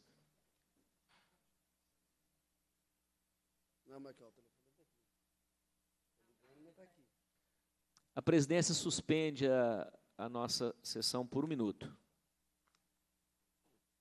5 de abril de 2004, que dispõe sobre a política estadual de apoio ao cooperativismo e dá outras providências, de autoria da deputada Leninha e do deputado Marquinho Lemos, relatoria do deputado Lucas Lasmar, a quem o indago está em condição da emissão do parecer. Sim, presidente. Com a palavra o deputado Lucas Lasmar. Parecer para o primeiro turno do projeto de lei 1209 de 2023 o projeto de, é, de, lei em análise pretende, em síntese, alterar a Lei 15.075, de 5 de abril de 2004, que dispõe sobre a política estadual de apoio ao co cooperativismo. Segundo a, a, justificativa de seus autores, o projeto tem como escopo fomentar e estimular a criação de cooperativas de agricultura familiar, de modo que elas possam participar de programas de compra institucionais de alimentos de agricultura familiar Informo que no estado de Minas Gerais a organização de cooperativas de agricultura familiar ainda é frágil e as ações comerciais foram assimiladas informalmente pelas associações.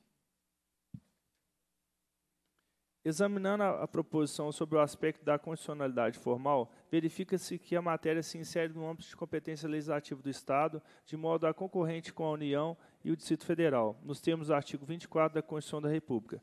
Cabe destacar também que nos termos do artigo 23, inciso 8 e 12, constitui competência comum da União, Estados e municípios e Distrito Federal fomentar a promoção a produção da agricultura e organizar o abastecimento alimentar, bem como combater as causas da pobreza e os fatores da marginalização, promovendo a integração social dos setores desfavorecidos. Por sua vez, em relação à iniciativa parlamentar sobre análise, essa se repalda no capítulo do artigo 65 da Constituição do Estado, não havendo, portanto, nenhum óbice jurídico à apresentação da matéria. Objeto de lei em análise, ainda que de iniciativa parlamentar, pode fixar diretrizes de políticas públicas estaduais, não se admitindo, todavia, que a proposição entre em detalhes ou disponha sobre competência de, órgão, de órgãos da administração pública direta e indireta, permanecendo o cargo do Executivo definir a melhor forma de implantá-las. Dessa forma, vislumbramos a possibilidade que a proposição tramite nessa casa, mas deve-se deve ter em mente que a eficácia da lei, eventualmente dela originada, exibirá o, con o concurso da vontade do Executivo, que detém competência privativa para os, as providências indispensáveis ao sucesso dessa medida. Diante do exposto, julgamos oportuna apresentação, ao final desse parecer, do substitutivo número 1, a qual, além de promover alguns reparos para aprimoramento do texto, suprime o artigo 4 por, ter, é, por se tratar de matéria que já se encontra regulamentada em normas expedidas pelo Banco Central. Por fim, alertamos que a análise no aspectos é, meritórios do projeto assim como suas aplicações práticas, será feita em momento oportuno pelas comissões de mérito. Conclusão.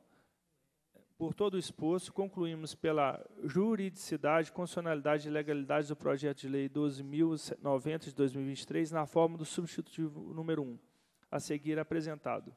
Substitutivo número 1. Altera a Lei 15.075, de 5 de abril de 2004, que dispõe sobre a política estadual de apoio aos cooperativismos e dá outras providências. A Assembleia Legislativa do Estado de Minas Gerais decreta. Artigo 1 O artigo 1 da Lei 15.075, de 5 de abril de 2004, passa a vigorar com a seguinte redação. Artigo 1 Fica instituída no Estado a política eh, estadual de apoio ao cooperativismo, que considera em um conjunto de princípios, diretrizes, regras e ações ao cargo de diversos órgãos e entidades da administração pública direta e indireta, com os seguintes objetivos. Primeiro, incentivar a atividade de cooperativistas e contribuir com o desenvolvimento do Estado. Segundo, fomentar o apoio à Constituição, à consolidação e expansão de cooperativas do Estado. Terceiro, estimular a captação e a disponibilização de recursos financeiros destinados a apoiar as ações de políticas que trata dessa lei. Quarto, apoiar técnicas e, opera, e operacionalmente a, as cooperativas o co cooperativismo do Estado, promovendo as parcerias necessárias ao seu desenvolvimento. Artigo 2 Fica crescido a Lei 15.075, de 5 de abril de 2004, os seguintes artigos 1º-A.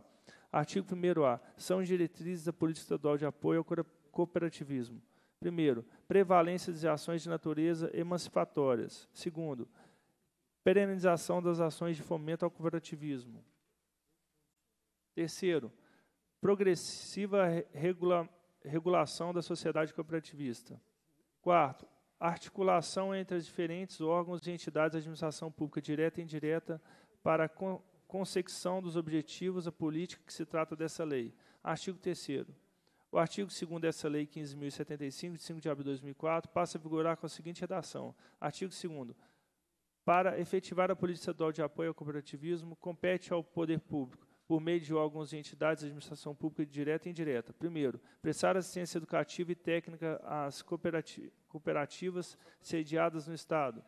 Segundo, estabelecer incentivos fiscais e financeiros para o desenvolvimento do cooperativismo, incluindo medidas de abertura de linha de crédito específica e concessão de tratamento fiscal diferenciado, na forma dessa lei.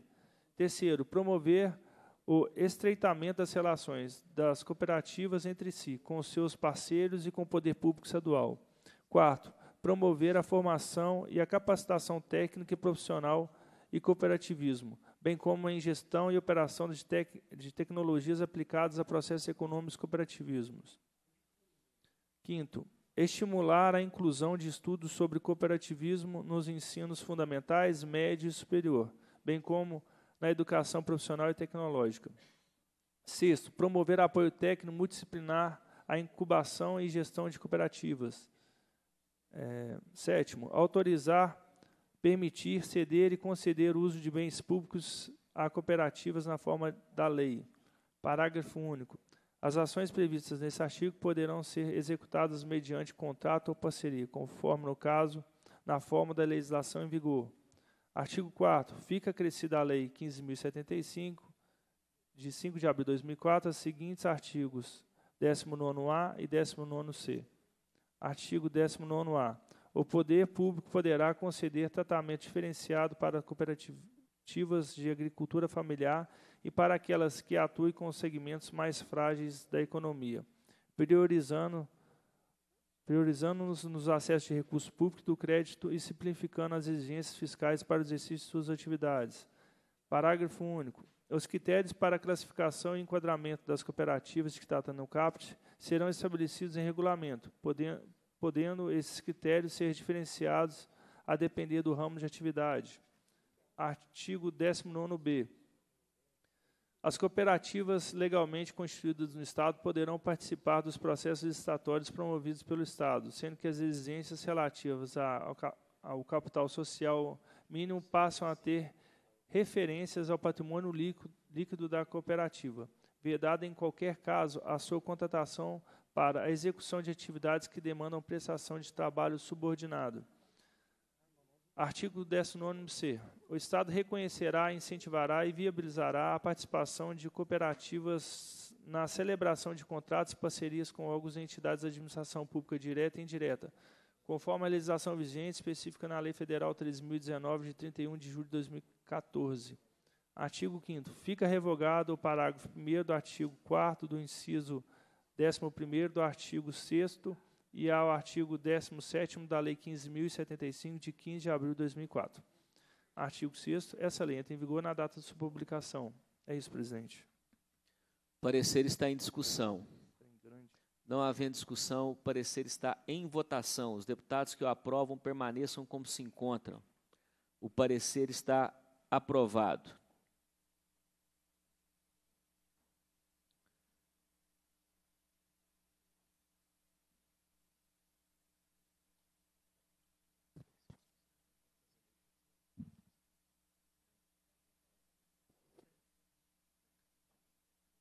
Projeto de Lei 1224 de 2023, primeiro turno, declara como patrimônio histórico e cultural de natureza imaterial da educação de Minas Gerais a Escola Estadual Mário Campos e Silva, localizada no município de Oliveira, de autoria do deputado Lucas Lasmar, relatoria do deputado Dr. Jean Freire, tendo em vista a sua ausência e os prazos regimentais, faço a redesignação de relator para o deputado Charles Santos. Indago ao mesmo se está em condição da emissão do parecer.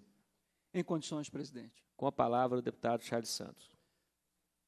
De autoria do deputado Lucas Lasmar, a proposição em exame declara como patrimônio histórico e cultural de natureza imaterial da educação de Minas Gerais a Escola Estadual Mário Campos e Silva, localizada no município de Oliveira. Não há dúvidas de que o Estado possui competência para praticar atos necessários à proteção de obras e de outros bens de valor histórico, artístico e cultural, tratando-se de competência comum prevista no artigo 23, inciso 3 da Constituição da República. Além disso, o artigo 216 do texto da Carta Magna também prevê que cabe ao poder público, com a colaboração da comunidade, promover e proteger o patrimônio cultural brasileiro por meio de inventários, registros, vigilância, tombamento e desapropriação e de outras formas de acautelamento e preservação. No âmbito do Estado de Minas Gerais, encontra-se em vigor a lei de número 24.219 de 2022, que institui o título de relevante interesse cultural do Estado, por meio de lei específica, para a valorização dos bens, manifestações ou expressões culturais, que contenham referências à identidade, à ação e à memória dos diferentes grupos formadores da sociedade mineira. Diante do exposto, não vislumbramos óbices jurídico-constitucionais para o prosseguimento desta tramitação. Por fim, entendemos que a proposição merece alguns ajustes para seu aprimoramento quanto à técnica de redação parlamentar e a observação das regras contidas na Lei 24.219 de 2022, razão pela qual apresentamos o substitutivo número 1 a seguir redigido. Em face do exposto, concluímos pela juridicidade, constitucionalidade e legalidade do projeto de lei 1224 de 2023, na forma do substitutivo número 1 a seguir apresentado. Substitutivo número 1 reconhece como de relevante interesse cultural do Estado de Minas Gerais a Escola Estadual Mário Campos e Silva, no município de Oliveira. A Assembleia Legislativa do Estado de Minas Gerais decreta, artigo 1 fica reconhecida como de relevante interesse cultural do Estado, nos termos da Lei 24.219, de 15 de julho de 2022, a Escola Estadual Mário Campos e Silva, no município de Oliveira, Artigo 2 o reconhecimento de que trata esta lei, conforme dispõe o artigo 2 da Lei 24.219 de 2022, tem por objetivo valorizar bens, expressões, manifestações culturais dos diferentes grupos formadores da sociedade mineira. Artigo 3 esta lei entra em vigor na data de sua publicação. O parecer está em discussão. Para discussão, presidente. Com a palavra, deputado Lucas Lasmar. Quero agradecer novamente ao deputado Charles Santos, o seu relator, e que foi apresentado aqui do projeto de lei de nossa autoria, o 1224, que declara como patrimônio histórico e cultural de natureza imaterial é, e educacional de Minas Gerais a escola Mário Campos e Silva.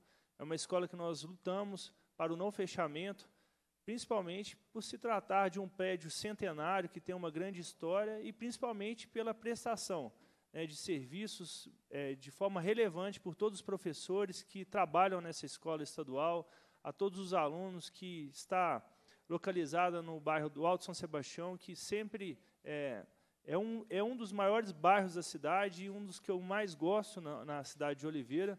E a gente sabe a importância dar continuidade a essa escola. O governo já sinalizou que não vai fechar e nós vamos continuar lutando para que envie os recursos para a reforma e a gente possa realmente reconhecer essa escola como também de ensino médio e, claro, deixar uma lei declarando como de grande relevância essa querida escola para o nosso estado de Minas Gerais. Obrigado.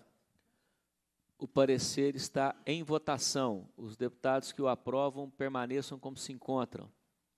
O parecer está aprovado. Projeto de Lei 1282, 2023, primeiro turno, autoriza a Fundação Hospitalar do Estado de Minas Gerais, FEMIG, a doar ao Estado o imóvel que especifica. De autoria do deputado Lucas Lasmar, relatoria do deputado Dr. Jean Freire. É, esse projeto está retirado de pauta por falta de pressupostos regimentais. Projeto de Lei 1294, 2023, primeiro turno, cria o Parque Estadual da Pedra do Cálice, de autoria do deputado Gil Pereira, da, de minha relatoria. Eu estou apresentando requerimento para que seja baixado em diligência à Secretaria de Estado de Governo, SEGOV, à Secretaria Estadual de Meio Ambiente, SEMAD, e ao Instituto Estadual de Floresta, IEF, e eu vou acrescentar aqui também a Secretaria de Agricultura do Estado para que se manifestem sobre a viabilidade de implementação do conteúdo da proposição. O requerimento está em votação. Os deputados que o aprovam permaneçam como se encontram. O requerimento está aprovado.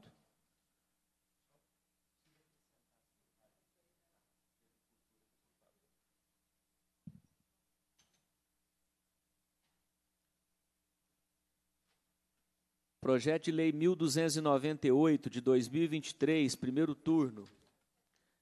Declara como patrimônio ambiental, histórico, cultural, paisagístico, hídrico e social de natureza material e imaterial de Minas Gerais o caminho das águas na comunidade Barnabé, em Congonhas, de autoria do deputado Leleco Pimentel, relatoria do deputado Lucas Lasmar. Quem indaga está em condição de emissão do parecer. Sim, presidente. Com a palavra, o deputado Lucas Lasmar. Parecer para o primeiro turno do projeto de lei 1298-2023, de autoria do deputado Aleco Pimentel, a proposição em epígrafe declara como patrimônio ambiental, histórico, cultural, paisagístico, hídrico e social de natureza material e imaterial de Minas Gerais o caminho das águas na comunidade Barnabé, em Congonhas. Publicado no, no Diário do Legislativo de 14 de setembro de 2023, o projeto foi distribuído para as comissões de Constituição e Justiça e de Cultura. De acordo com a justificativa, a apresentação pelo autor, esse verdadeiro tesouro, por muitas e muitos desconhecidos, deve ser declarado como patrimônio ambiental, histórico, cultural, paisagístico, hídrico e social de natureza material e imaterial de Minas Gerais, por ser condição indispensável na garantia da vida. Sob o prisma jurídico, a Constituição da República, em seu artigo 216, determina que constitui como patrimônio cultural brasileiro os bens de natureza material e imaterial, tomados individualmente ou em conjunto, portadores de referência à identidade, à ação, à memória dos diferentes grupos formadores da sociedade brasileira. Os mesmos artigos 216 da Constituição da República estabelecem, em seu parágrafo 1, que o poder público, com a colaboração de comunidade, promoverá e protegerá o patrimônio cultural brasileiro, por meio de inventário, registro, vigilância, tombamento e desapropriação e outras formas de acultelamento e preservação. Para evitar situações de insegurança jurídica aos direitos de part, é, particulares e aos interesses da administração pública, situações essas que decorrem da utilização inapropriada de termologias que é a própria aos citados procedimentos administrativos de proteção de patrimônio cultural. Essa comissão passou a entender que é mais adequado à técnica legislativa reconhecer de relevante do bem cultural do âmbito estadual. Isso porque, como se sabe, a legislação federal dá sentido específico à termologia, declarações de patrimônio cultural relacionando ao conceito de um ato administrativo que descreve, registra e estabelece salvaguardas jurídicas a um bem cultural. Diante disso, notamos que o projeto em apreço, em seus termos originais, não se molda ao, cons ao consenso formado nessa comissão e em outros órgãos deste Parlamento, sobre os limites jurídicos da atuação do Poder Legislativo para a proteção de patrimônio cultural. O mais adequado é a observância do, do disposto à, à Lei 24219, de, de 15 de julho de 2022, que dispõe sobre o título de relevante interesse cultural do Estado. Conclusão. Em face do exposto, concluímos pela juridicidade, constitucionalidade e legalidade do projeto de lei 1298 de 2023, na forma do substitutivo número 1 a seguir apresentado. Substitutivo número 1. Reconhece de relevante é, interesse cultural do Estado o caminho das águas da comunidade Barnabé, no município de Congonhas. Assembleia de Minas Gerais decreta. Artigo 1 Fica reconhecido como de relevante interesse cultural do Estado, nos termos da Lei 24.219, de 15 de julho de 2022, o caminho das águas na comunidade de Barnabé, no município de Congonhas. Artigo 2 O reconhecimento que trata nessa lei, conforme disposto no artigo 2 da Lei 24.219 de 2022, tem por objetivo valorizar bens, expressões e manifestações culturais de diferentes grupos formadores da sociedade brasileira. Artigo 3 Essa lei entra em vigor na data de sua publicação. É isso, presidente. O parecer está em discussão. Não havendo discussão, o parecer está em votação. Os deputados que o aprovam permaneçam como se encontram. Parecer está aprovado. Projeto de Lei 1300 de 2023, primeiro turno, reconhece como de relevante interesse cultural e como patrimônio imaterial do Estado o evento Cheiro de Relva, no município de Viçosa, de autoria do deputado Roberto Andrade, relatoria do deputado Tiago Cota, que eu indago está em condição da emissão do parecer. Em condições, presidente. Com a palavra, deputado Tiago Cota. De autoria do deputado Roberto Andrade, projeto de lei 1323 reconhece como de relevante interesse cultural do Estado e como patrimônio imaterial do Estado o evento Cheiro de Relva do município de Viçosa.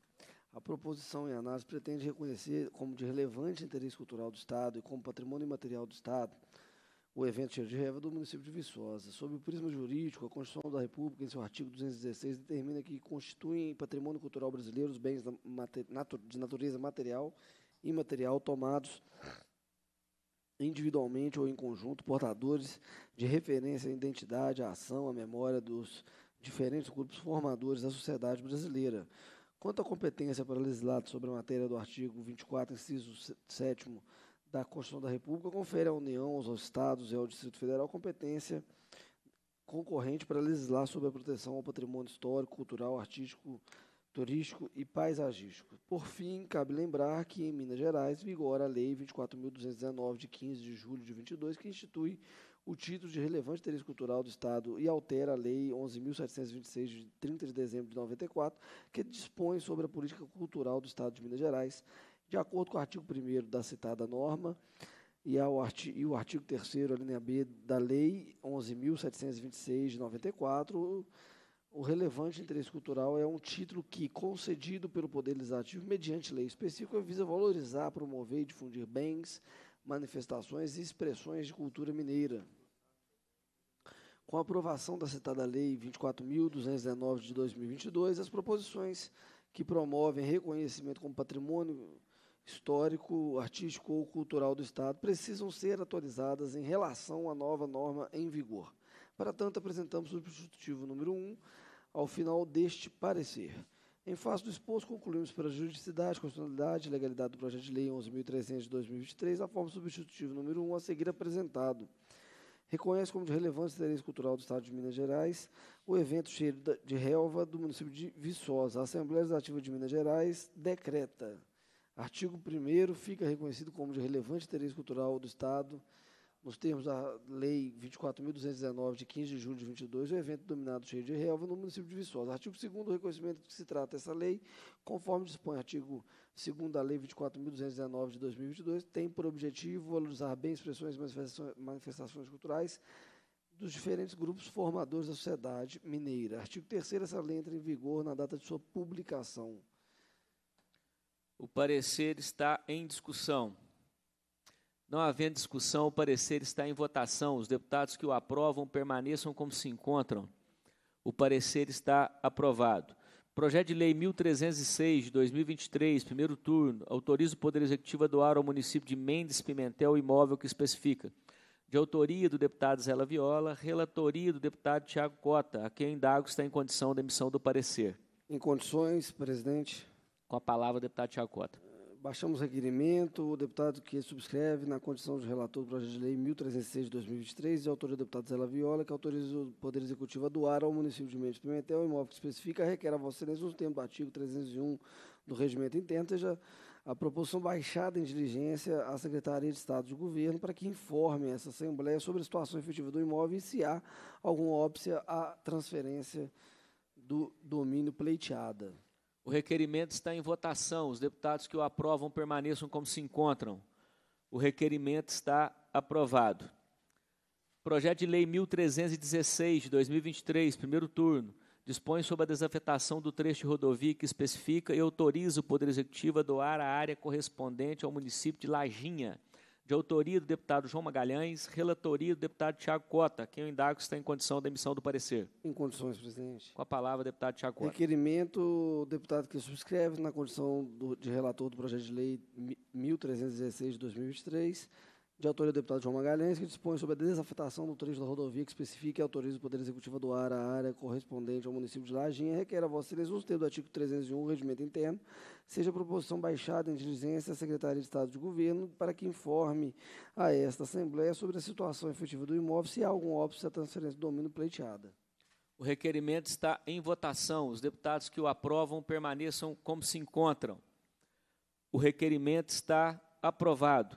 Nós vamos agora chamar os projetos de relatoria do deputado Bruno Engler, que, em função de requerimento apresentado no início da nossa sessão, foram transferidos para o, a, a, os últimos pontos da nossa pauta. Projeto de Lei 1275 de 2019, primeiro turno, dispõe sobre a proibição da exposição de crianças a danças que aludam à sexualização precoce nas escolas da rede estadual de ensino e da outras providências, de autoria do deputado Charles Santos, relatoria do deputado Bruno Engler, a quem o indago está em condição da emissão do parecer.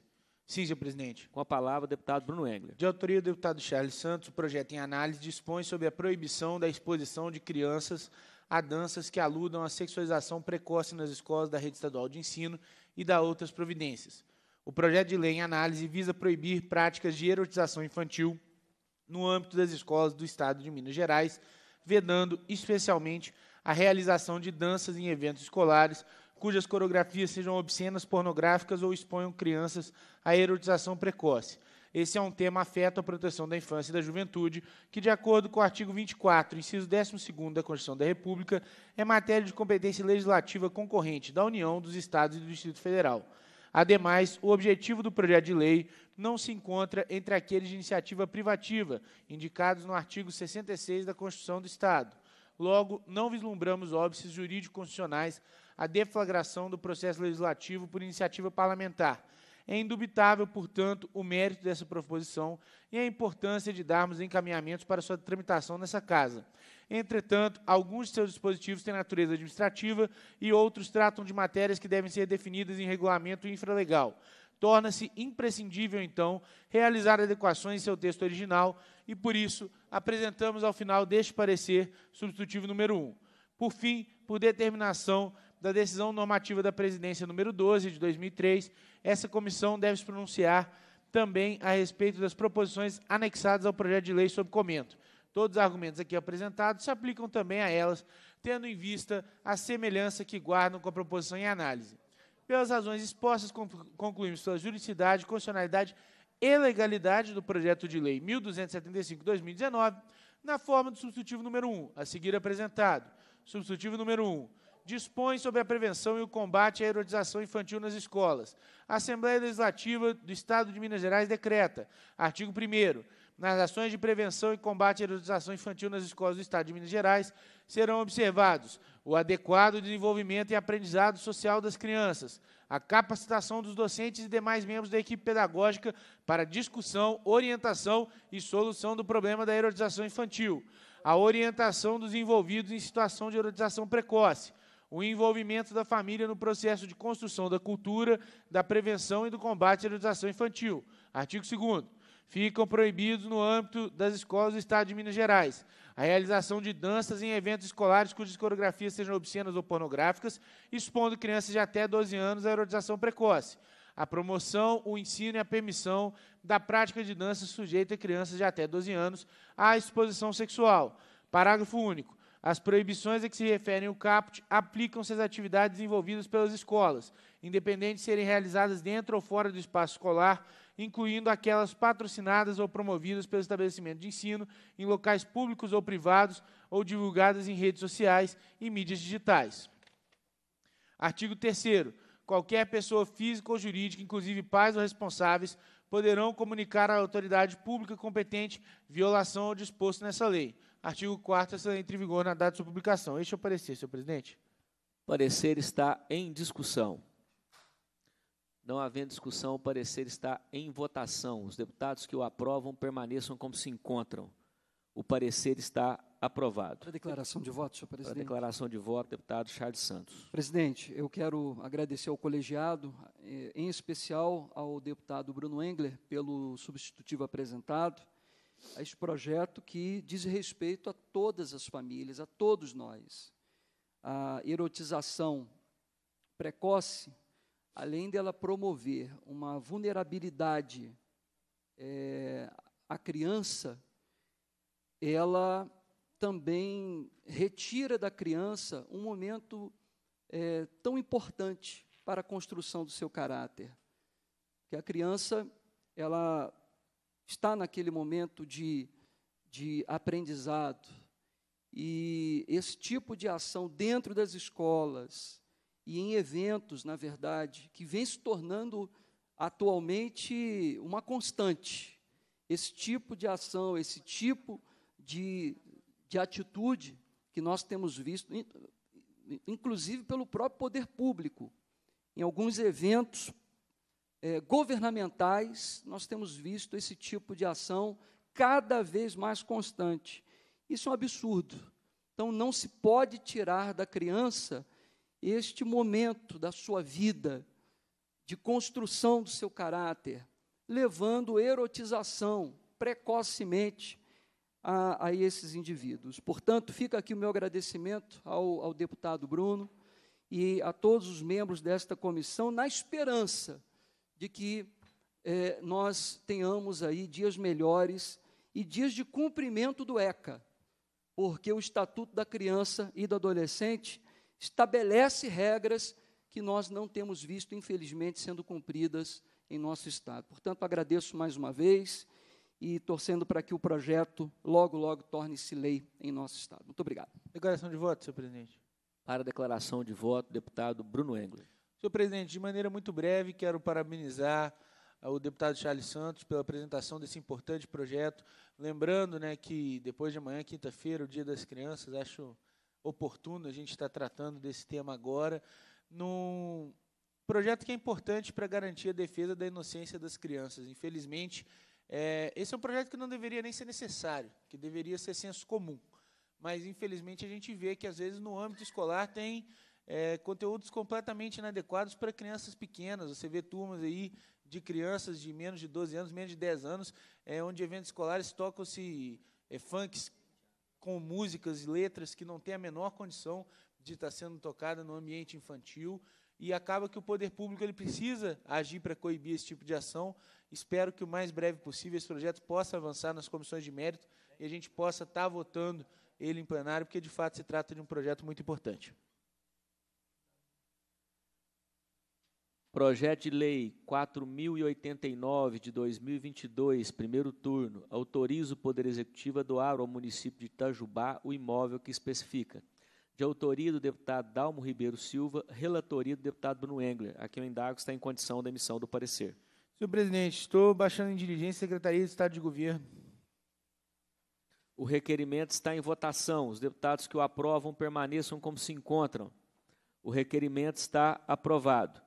Projeto de Lei 1082 de 2023, primeiro turno, autoriza o Poder Executivo a doar ao município de Chalé o imóvel que especifica.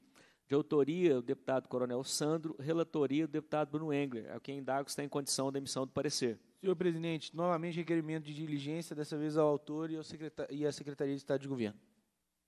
O requerimento está em votação. Os deputados que o aprovam permaneçam como se encontram. O requerimento está aprovado. Projeto de Lei 1266, de 2023, primeiro turno, assegura a pessoa com deficiência em condição de hipossuficiência o direito à gratuidade no pedido de emissão da carteira de identidade diferenciada como instrumento de promoção, inclusão e autonomia. De autoria do deputado Eduardo Azevedo, relatoria do deputado Bruno Engler, a quem o indago está em condição da emissão do parecer. Sim, senhor presidente. Com a palavra, o deputado Bruno Engler. De autoria do deputado Eduardo Azevedo, mais novo filiado do PL, o projeto de lei epígrafe assegura a pessoa com deficiência em condição de hipossuficiência, o direito à gratuidade no pedido de emissão da carteira de identidade diferenciada como instrumento de promoção, inclusão e autonomia. Entendemos que a proposta tem raízes em princípios que buscam promover a dignidade da pessoa humana e a integração social da pessoa com deficiência, estando em estrita consonância com os ditames da Constituição da República, como veremos a seguir. O artigo 24, inciso 14 da Carta Magna, estabelece que cabe ao Estado legislar concorrentemente sobre proteção e integração social das pessoas portadoras de deficiência, cumprindo-lhe ainda a tarefa de concretizar, mediante políticas públicas, a proteção e garantia das pessoas portadoras de deficiência, nos termos do seu artigo 23, inciso 2 na esfera estadual, a Constituição dispõe, no artigo 224, sobre o dever do Estado de assegurar as condições de integração social à pessoa com deficiência. Como se vê, a proposição em estudo insere-se nesse contexto de proteção da pessoa com deficiência, buscando conferir densidade normativa a disposições previstas nos textos constitucionais. Assim sendo, com o fito de incorporar a ideia do projeto à legislação vigente, apresentamos ao final deste parecer o substitutivo número 1, alterando a Lei 13.799, de 21 de dezembro de 2000, que dispõe sobre a política estadual dos direitos da pessoa com deficiência e cria o Conselho Estadual da Defesa dos Direitos da Pessoa com Deficiência. Esclarecemos na oportunidade que, em obediência ao regimento interno, essa comissão, na esfera de sua competência, aprecia a proposição exclusivamente sobre o aspecto jurídico constitucional, cabendo a avaliação da conveniência da oportunidade da matéria à comissão de mérito. Em face do exposto, conclui sua juridicidade, constitucionalidade e legalidade do projeto de lei 1266 de 2023, na forma do substitutivo número 1 a seguir apresentado. Substitutivo número 1 altera a Lei 13.799, de 21 de dezembro de 2000, que dispõe sobre a política estadual dos direitos da pessoa com deficiência e cria o Conselho Estadual de Defesa dos Direitos da Pessoa com Deficiência. A Assembleia Legislativa do Estado de Minas Gerais decreta, artigo 1 fica acrescentado ao artigo 2 da Lei 13.799, de 21 de dezembro de 2000, o seguinte inciso 9 Inciso 9. O incentivo à criação de programas de divulgação e emissão gratuita de carteira de identificação de pessoa com deficiência em condição de hipossuficiência. Artigo 2. Esta lei entra em vigor na data de sua publicação. Este é o parecer, senhor presidente. Parecer está em discussão. Não havendo discussão, o parecer está em votação. Os deputados que o aprovam permaneçam como se encontram. O parecer está aprovado. Projeto de Lei 1305 de 2023, primeiro turno, autoriza o Poder Executivo a doar ao município de Veríssimo o imóvel que especifica, de autoria do deputado Zé Viola, relatoria do deputado Bruno Engler, a quem o indago está em condição de emissão do parecer. Senhor presidente, estou apresentando um requerimento para que seja baixado em diligência ao autor e à Secretaria de Estado de Governo. O requerimento está em votação. Os deputados que o aprovam permaneçam como se encontram. O requerimento está aprovado. Projeto de Lei 1312 de 2023, primeiro turno, dispõe sobre a desafetação de trechos das rodovias LMG 748, MG 223 e MG 414, especificados e autoriza o Poder Executivo a doar ao município de Araguari as áreas correspondentes. De autoria do deputado Raul Belém, relatoria do deputado Bruno Engler, que o indago está em condição da emissão do parecer. Senhor presidente, apresento requerimento para que seja baixado em diligência a Secretaria de Estado de Governo e a Prefeitura Municipal de Araguari. O requerimento está em votação. Os deputados que o aprovam permaneçam como se encontram. O requerimento está aprovado. Projeto de Lei 1328, de 2023, primeiro turno, dispõe sobre a desafetação do trecho de rodovia que especifica e autoriza o Poder Executivo a doá-lo ao município de Piranguçu, de autoria do deputado Duarte Pechir, relatoria do deputado Bruno Engler, a quem o indago está em condição da emissão do parecer. Senhor presidente, novamente apresentando requerimento para que seja baixado em diligência a Secretaria de Estado de Governo e dessa vez a Prefeitura Municipal de Piranguçu. O requerimento está em votação. Os deputados que o aprovam permaneçam como se encontram. O requerimento está aprovado. Projeto de Lei 1346 de 2023, primeiro turno, reconhece como de relevante interesse cultural do Estado a festa da padroeira do Santuário Arquidiocesano de Santa Luzia de autoria do deputado delegado Cristiano Xavier, relatoria do deputado Bruno Engler, a quem o indago está em condição da emissão do parecer. Sim, senhor presidente. Com a palavra, deputado Bruno Engler.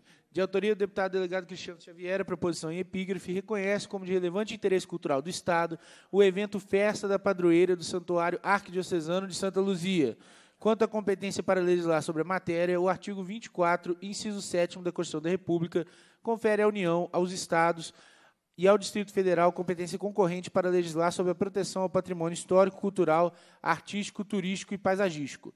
Com efeito, foi editada em 2022 a Lei 24.219, que institui o título de relevante interesse cultural do Estado e altera a Lei 11.726, de 30 de dezembro de 1994, que dispõe sobre a política cultural do Estado de Minas Gerais.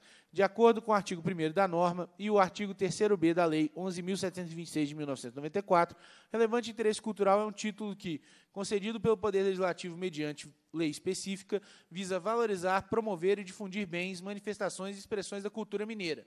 Assim, o reconhecimento em questão deve tramitar sobre a forma de projeto de lei, que pode ser tanto de iniciativa parlamentar como do governador do Estado.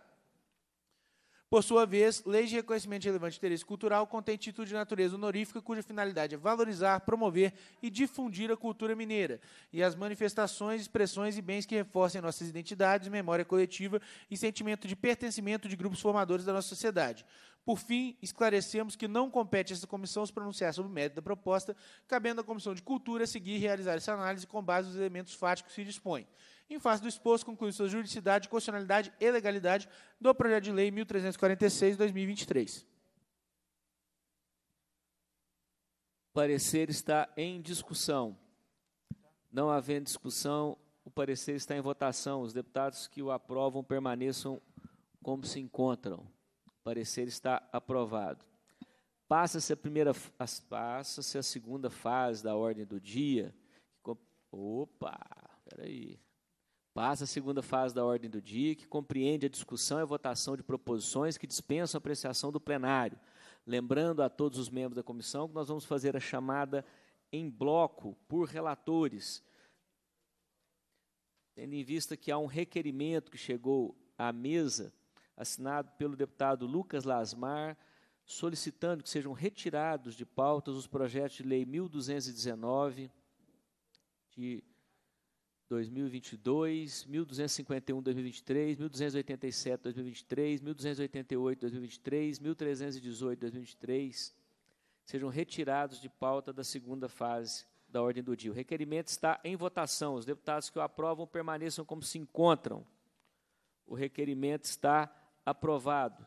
Tendo em vista motivo justificado, deputado Bruno Engler, necessidade de sua retirada, vou fazer a chamada, primeiramente, dos projetos de sua relatoria.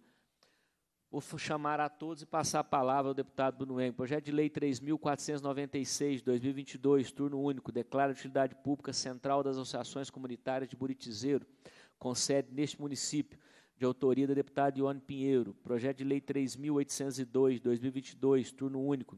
Declara utilidade pública Associação Social Desportiva Recreativa Amando Vidas, Asdran, com sede no município de Coqueiral, de autoria do deputado Dalmo Ribeiro Silva. Projeto de Lei 3.886, de 2022, turno único. Declara utilidade pública Associação de Bananicultores de Luminosa, Abal, com sede no município de Brasópolis, de autoria do deputado Dalmo Ribeiro Silva. Projeto de Lei 4.088, 2022, turno único. Declara a utilidade pública a Associação Comunitária dos Moradores da Comunidade do Cansanção, com sede no município de Virgem da Lapa, de autoria do deputado Dalmo Ribeiro Silva. Projeto de Lei 1099 de 2023, turno único, declara utilidade pública à Câmara de Dirigentes Logistas de Araguari, denominada CDL Aragu Araguari com sede nesse município, de autoria do deputado Raul Belém. Projeto de Lei 1212 de 2023, turno único, declara utilidade pública Associação de Moradores e Amigos da Comunidade Integrada da Serra do Palmital, a Macisp, com sede no município de Paineiras, de autoria do deputado Fábio Avelar. Projeto de Lei 1277, 2023, turno único, declara utilidade pública Associação Beneficente Filho Pródigo, com sede no município de Divinópolis, de autoria do deputado Eduardo Azevedo.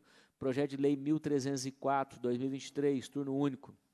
Declara utilidade pública o América Futebol Clube, com sede no município de Três Corações, de autoria do deputado Coronel Henrique. Projeto de Lei 1336, de 2023, turno único. Declara utilidade pública Associação Cultural Viola Viva de Sacramento, com sede no município de Sacramento, de autoria do deputado Bosco. Com a palavra, o deputado Bruno Engler. Senhor presidente, em relação ao projeto 3.496-2022, ao projeto 1099-2023, ao projeto 1212-2023 e ao projeto 1336-2023, concluo pela juridicidade, constitucionalidade e legalidade dos projetos. Os pareceres estão em discussão. Não havendo discussão, os pareceres estão em votação. Os deputados que os aprovam permaneçam como se encontram. Os pareceres estão aprovados. Em relação ao projeto 3.802-2022, 3.886-2022, é, 4.088-2022, 1.277-2023 e 1.304-2023, apresento requerimento de diligência aos respectivos autores. Os requerimentos estão em votação. Os deputados que os aprovam permaneçam como se encontram. Os requerimentos estão aprovados. Agradeço aqui o senhor presidente pela compreensão. É, nesse momento, tem que me ausentar para receber o secretário lá no gabinete. Agradeço ao deputado Bruno Engler pela sempre sua prestigiosa colaboração com a comissão.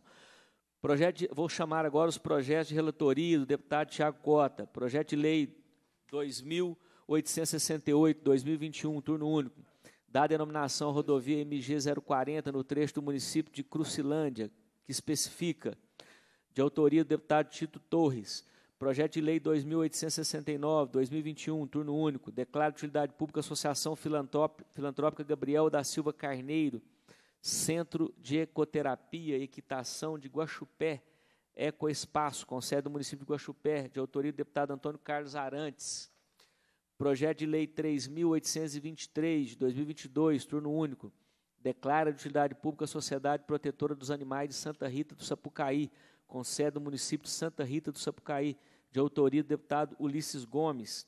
Projeto de Lei 812, de 2023, turno único, dá denominação à passarela que especifica, de autoria do deputado Fábio Avelar, com a palavra, não, ainda tem mais um, projeto de lei 1321 de 2023, turno único, declara utilidade pública Associação de Comunicação de Rádio Fusão da Comunidade de São Sebastião do Sacramento Manhuaçu, com sede do município de Manhuaçu, de autoria do deputado João Magalhães, com a palavra deputado Tiago Cota.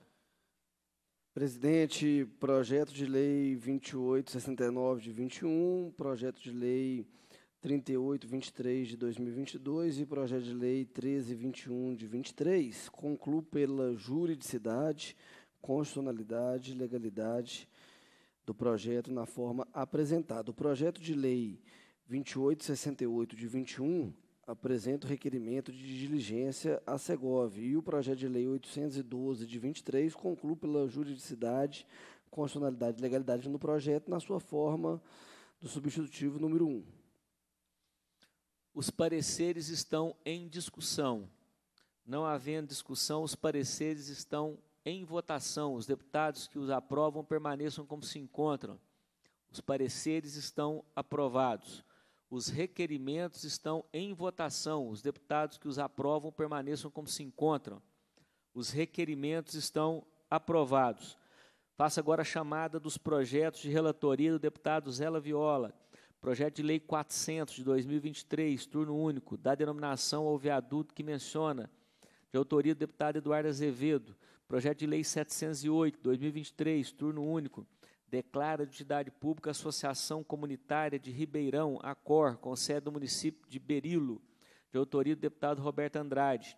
Projeto de Lei 785 de 2023, turno único, da denominação ao trecho da LMG 799, compreendido entre Capelinha do Barreiro, no município de Uberaba, e o município de Conceição das Alagoas, de autoria do deputado Raul Belém.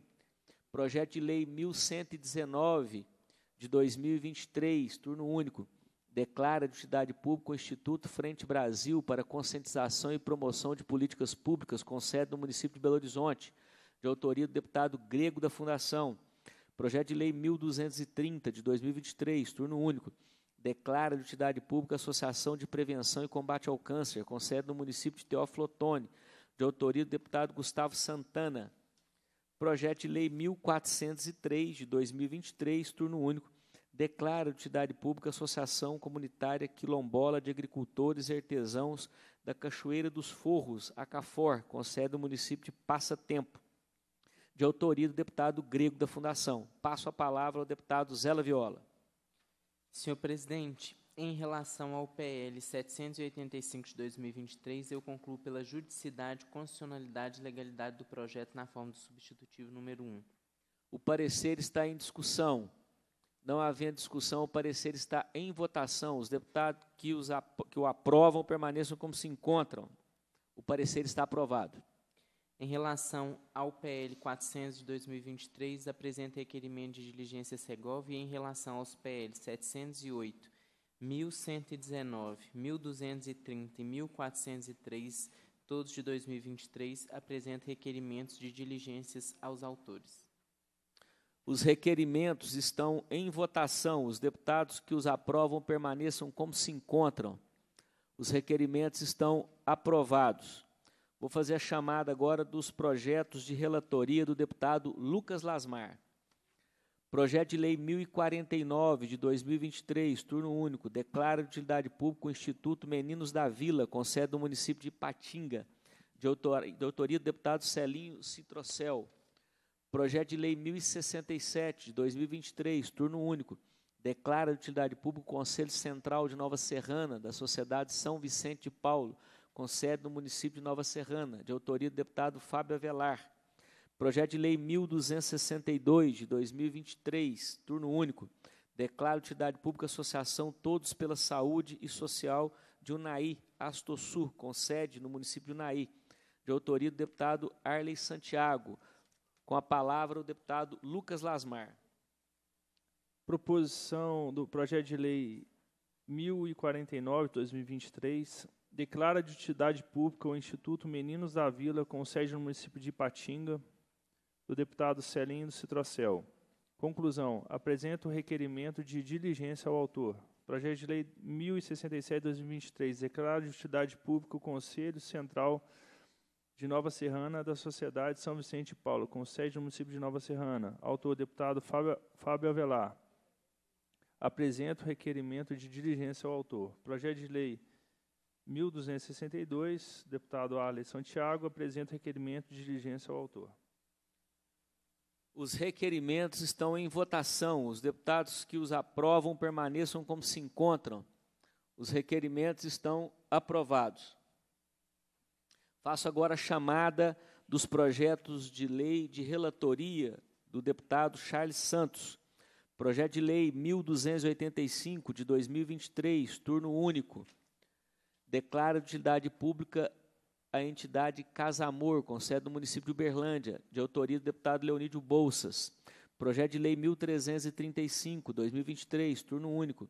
Declara de utilidade pública a Associação Manaim Evangélica de Mateus Leme, amém, com sede no município de Mateus Leme, de autoria do deputado Carlos Henrique. Projeto de Lei 1344, de 2023, turno único, declara de utilidade pública a Sociedade de Proteção aos Animais de Passos, SOS Patas, com sede no município de Passos, de autoria do deputado Cássio Soares. Com a palavra, o deputado Charles Santos. Presidente, aos PLs 1285 2023 e 1335 de 2023, apresento requerimentos aos autores. Os requerimentos estão em votação. Os deputados que os aprovam permaneçam como se encontram. Os requerimentos estão aprovados. Em relação ao projeto 1344 de 2023, concluo pela juridicidade, constitucionalidade e legalidade. O parecer está em discussão. Não havendo discussão, o parecer está em votação. Os deputados que o aprovam permaneçam como se encontram. O parecer está aprovado. Cumprida a finalidade da reunião, a presidência agradece a presença de todos, convoca os membros para a próxima reunião ordinária, determina a lavratura da ata e encerra os trabalhos.